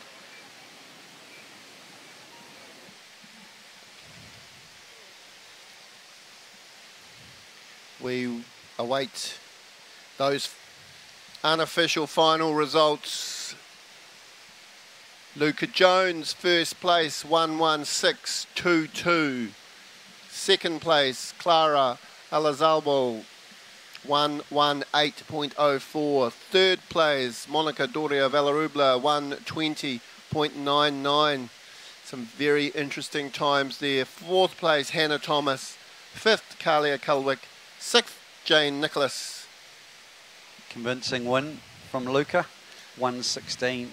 So actual running time 112. A 112. Monica herself did a run time of 114. Clara kept it clean and methodical at a 118. So some different strategies there, some higher risk moves. You go a bit faster, you risk a slightly more opportunities to touch the poles. As predicted from you, John, Luuka was holding back in that semi-final. She's gone seven seconds quicker in the final.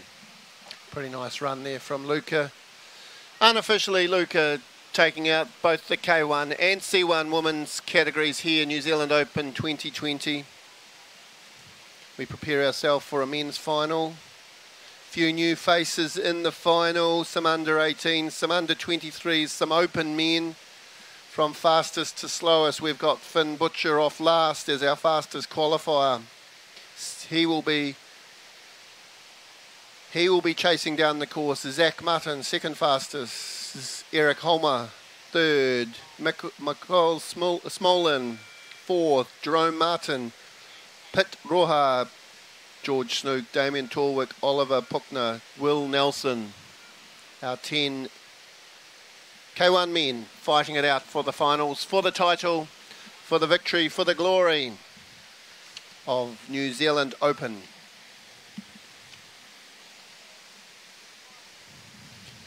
Due to start 13, 1507, 307.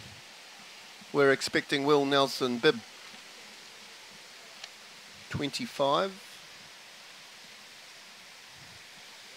Bib 25 to be there at 13 oh, sorry 1507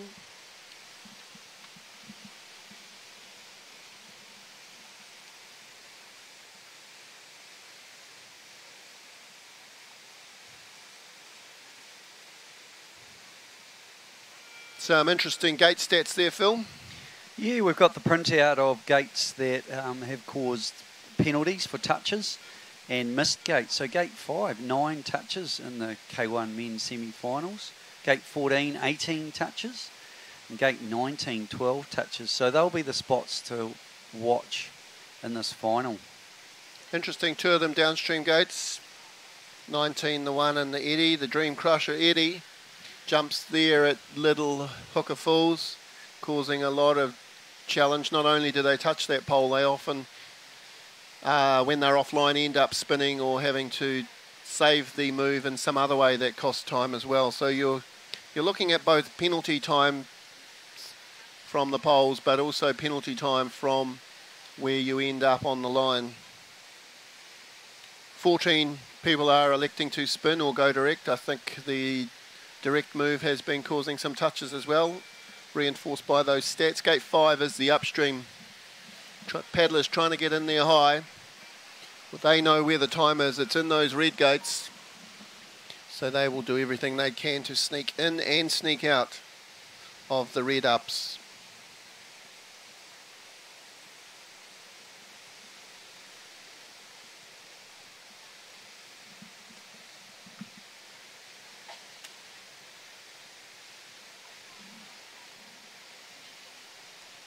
With 19 being the gate that's one of the gates that's mostly hit. The following gate, gate 20, is the one that's one of the ones that's mostly missed. Interesting, those two stats go together. So you get offline at 19 and you hit it. Uh, that offline not only results in a touch, but it often results in you flying past the next gate in order, gate 20, and those stats are reinforced here. It's what the gate designer or course designer, Campbell Walsh, will have been attempting to do. Set the trap, get people to be late, get people onto the woodwork and then to struggle back to the following gate or as, gates. As you alluded to earlier in the day, John, the, the bottom half of the course is the tough part of the course. That's where the majority of the, the missed gates uh, and penalties for touches. So that must be a bit of fatigue and the features are quite a bit tougher down there the punishing end of the course, the one we've been trying to promote, build that endurance into our athletes, drill, uh, drill that precision, create that ability to keep focused when the lungs are burning, the arms are collapsing, and the gates and whitewater features are still coming at you thick and fast. This race wouldn't be possible without those volunteers that you see up and down the course. We've got people judging every gate. We have safety boaters on water, throw bags at the ready, first aid in the caravan, runners up and down the course, start line, finish line, results HQ, those people manually counting up the paperwork. Big shout out to you all. I know the athletes have had a phenomenal weekend cobwebs well and truly dusted off. They're ready for more racing. It continues in a fortnight at Vector Wero Whitewater Park.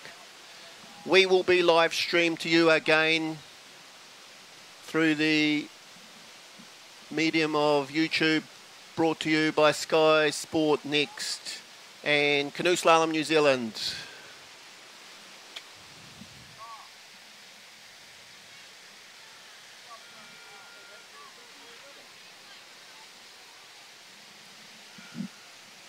The athletes are reverse seated, reverse seated on their semi-finals results, slowest to fastest.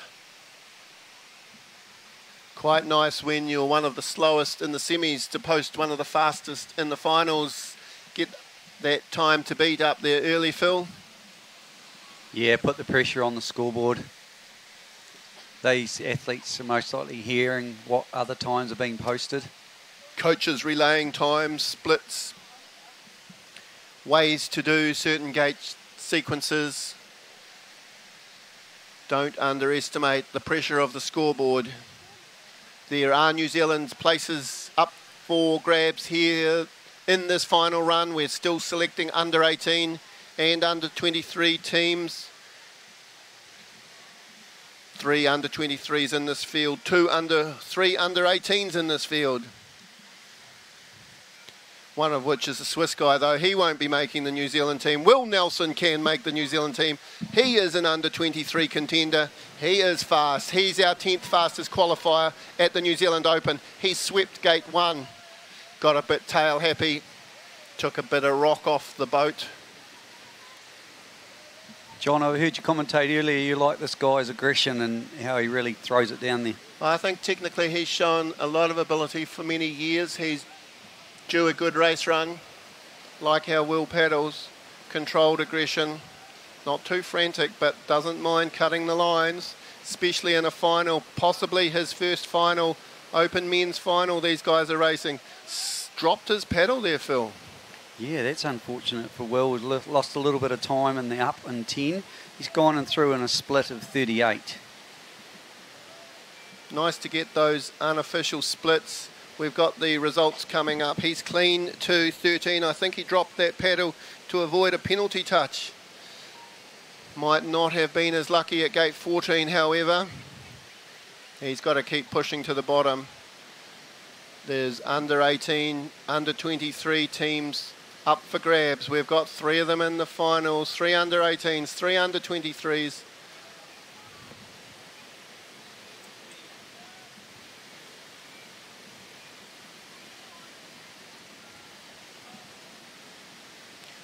Big moment here for Will Nelson. First final, punts off the wall at 23, drops his shoulder under that inside pole, gets a little rejected by the eddy line at 24. Suffering a bit of fatigue down the bottom is our Will Nelson on the start line. Oliver Puckner. This boy doesn't know the meaning of fatigue. He's been in his kayak this afternoon. He's been in his canoe this morning. He's off in his first final in a New Zealand Open. Brilliant sweep there from Oliver. Accelerates the boat nicely through two and three. He'll set up the sweep here at five. Lets the boat come round by itself. Very nicely done. Took a little bank with him for a memoir.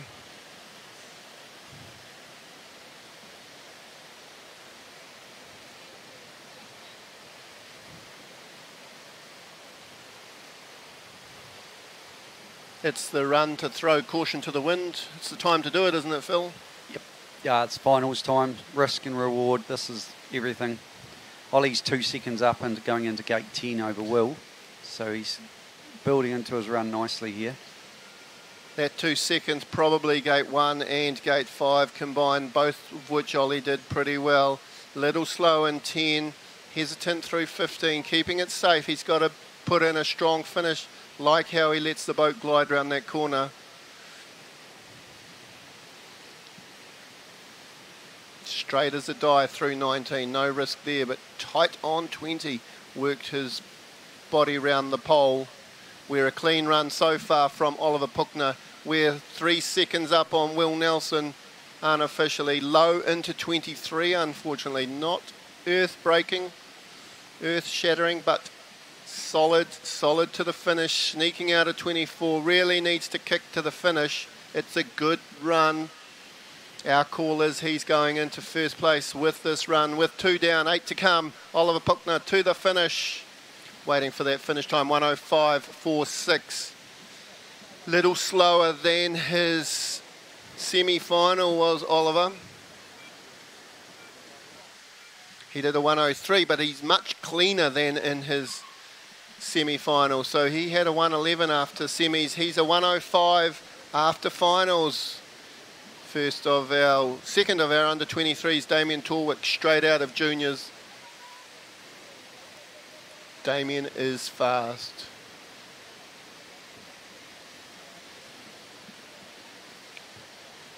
Parents working here this weekend. Thanks to the Torwicks for keeping this organisation running, helping keep Damien on the water with results coming in little late on nine. Yanked it back and tied out a 10, grabbing for the rocks. Some frantic paddling. One second up on Oliver. It looks like at gate 10 for Damien Torwick. And clean, the important stat. Clean, clean, and direct at 14. Not sure what the splits are saying about which is quicker, direct or spin there, but the boys are electing all to go direct. A lot of touches on that gate 14. A lot of touches on this next gate. Gate 19, Damien lines it up. Didn't really create the angle he needed to get back to 20. Flapped around there for a while. May have given back some of that time. In fact, he has given back some of that time to Oliver. Let's see how the finish gates go. Very cautious was Damien from 22 to 23. Starting to power down. He needs to pick it up for the finish sprint.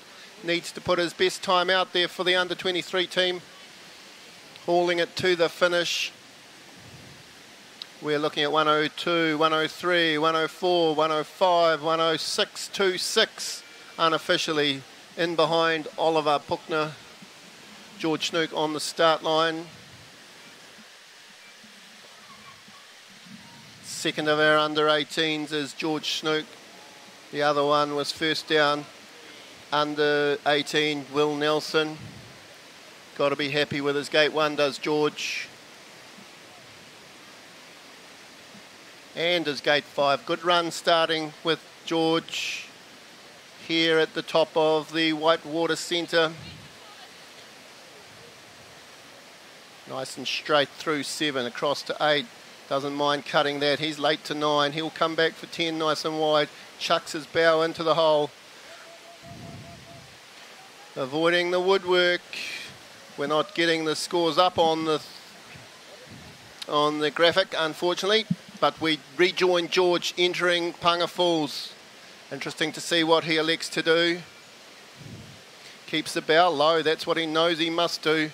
Had a touch there in his first run. Well over the bow, keeping it low as he races round the corner to Little Hooker. Their dream crusher. Creates the angle, hustles across, full committed. Unfortunately, we haven't got any splits for George. Struggled with 23 in his first run. Double sculls on it, this time much nicer than his first run. Looking for the sneak exit, unfortunately had some trouble getting out of 24. Sprints to the finish. It's all down to the finish line. Running around the cliff looking for the fast water. In the start pool we have Pete Roy from Switzerland.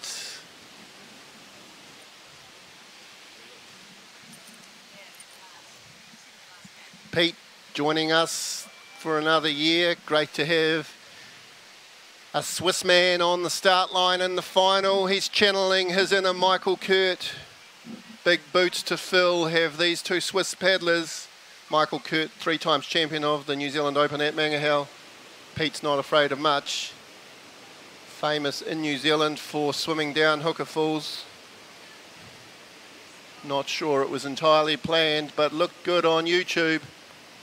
This looks good on YouTube. In and out of one, in and out of five.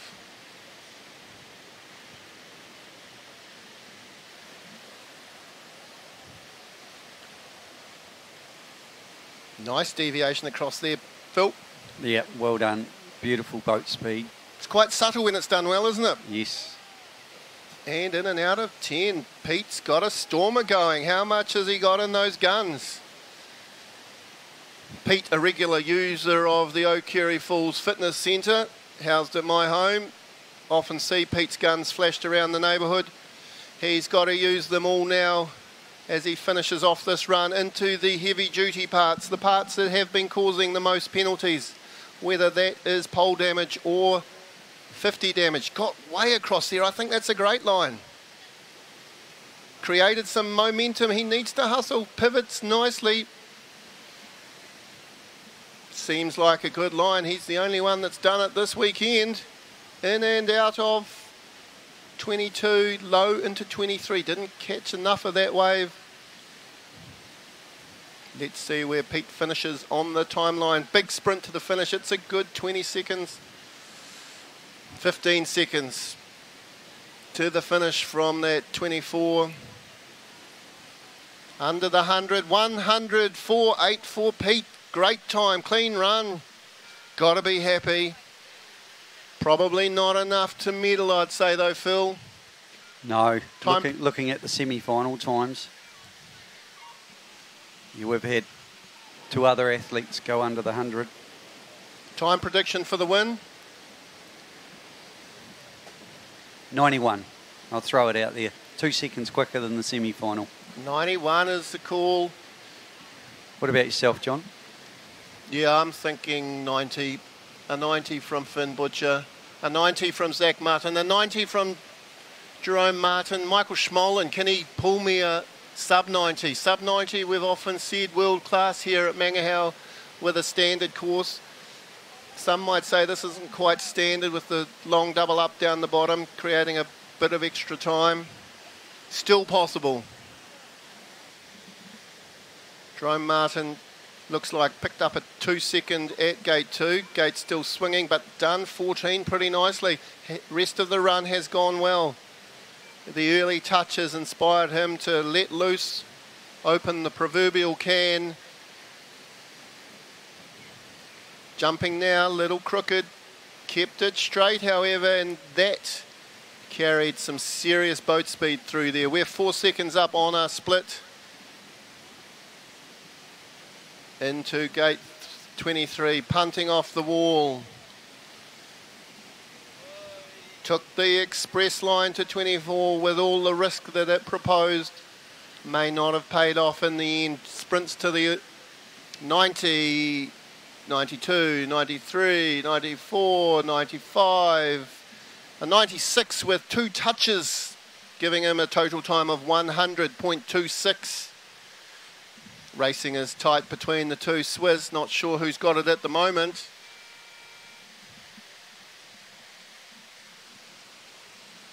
Michael Smolen doesn't mind medals at World Championship level. Been around the circuit for a while. Racing open men and sweeping ups is his game.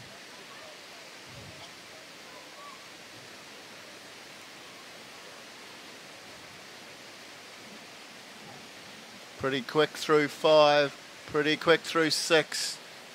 Steering that boat from that back rail nicely. Using all three rudders, body, boat and paddle as he makes his way down the Mangaore stream. Cuts the line super fine on exit 10. He is up. Three up on, two up on Jerome. Jerome, remember, did a 96. This time's looking dangerously close to a sub 93 if he can keep it clean. If he can eke out some more seconds from these upstream gates, he's still got plenty to go. There's still time in 19, there's still time in 23, there's still time in 24. The jump is good. Correction against the flow. Full power. Two up on Jerome. Still looking like a 94 rather than a 93. Let's see where the time can be saved. Punt off the wall, push across, high into 24. Long neck. He's got to commit to the neck. I think he's definitely got round that pole. Let's see what the judges say about that. He's winding up to the finish. 89, 90, 91, 92, 93, 95.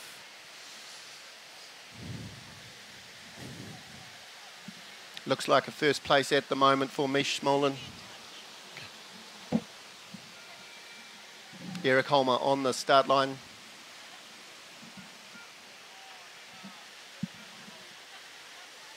Sole representative here at the New Zealand Open for Sweden. Sweden's top paddler, John. Is that correct? Sweden's top paddler. think he's booked his flights to Tokyo 2020 Olympics. Now looking to get the serious work done to make sure he more than represents Sweden.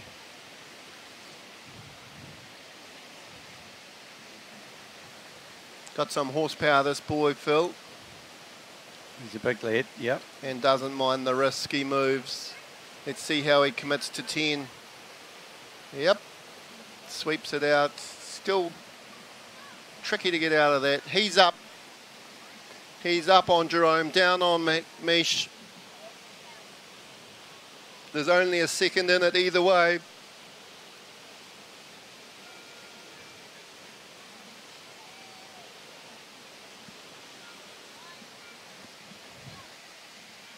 Into the final three paddlers. The ones who perform the best in the semi-finals. That run disappears, however. Saved it nicely at 20, did Erik, diving through the gate. Same time as Mish to this point. Elected not to punt off the wall. Big sprint to the finish. We're at 84 at the moment. 86, 87, 88, 89, 90, 91, 92, 93.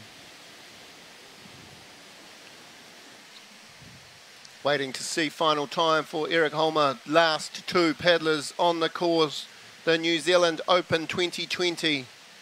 Still plenty of room in there. The performance has not been repeated. That was exposed in the semi-finals. We have seen nothing down at the 93 level that Finn Butcher did. If anyone can do it, Zach Mutton can.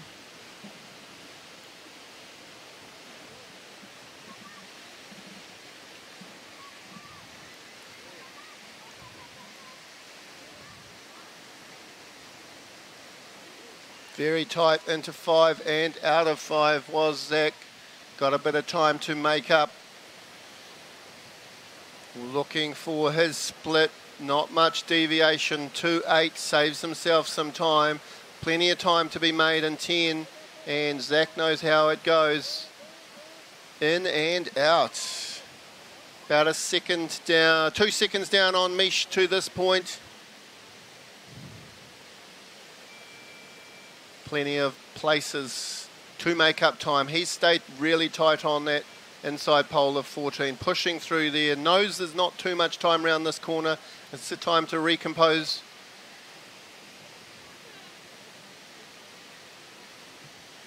Straight as a die through 19. No deviation to 20. Save some time there for sure. One down on the top times. Still more time to be made up. Hung on to a sinking draw there. Didn't create the drive that was required. Still in and out of 24. Sprinting to the line, we've got 87, 88. Looking like a clean run. 95.99 for Zach Mutton, an unofficial result. Last to go, Finn Butcher. Mr. 93 from semi-finals.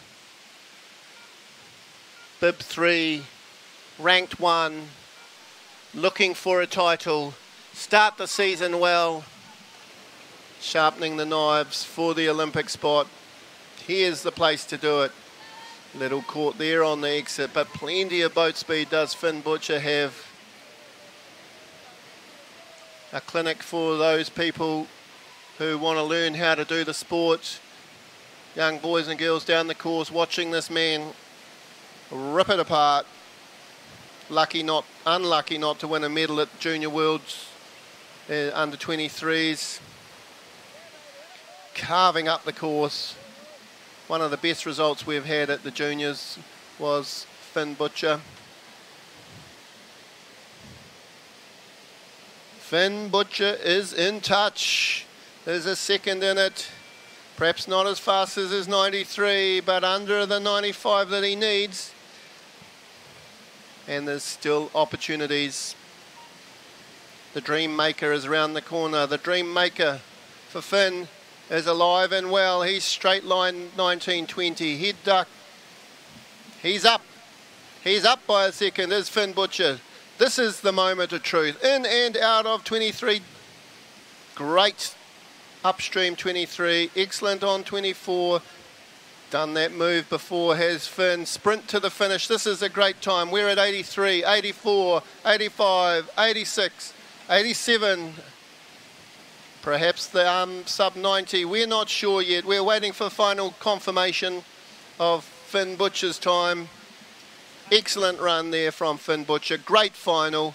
You have been watching the New Zealand Open 2020 brought to you by Canoe Slalom New Zealand in conjunction with Sky Sport Next and YouTube. Final results coming up there now. Erik Holmer in first place, 94.83. Finn Butcher yet to post a time. We might wait before we read that out. We've got Finn in blue yet to be allocated his time.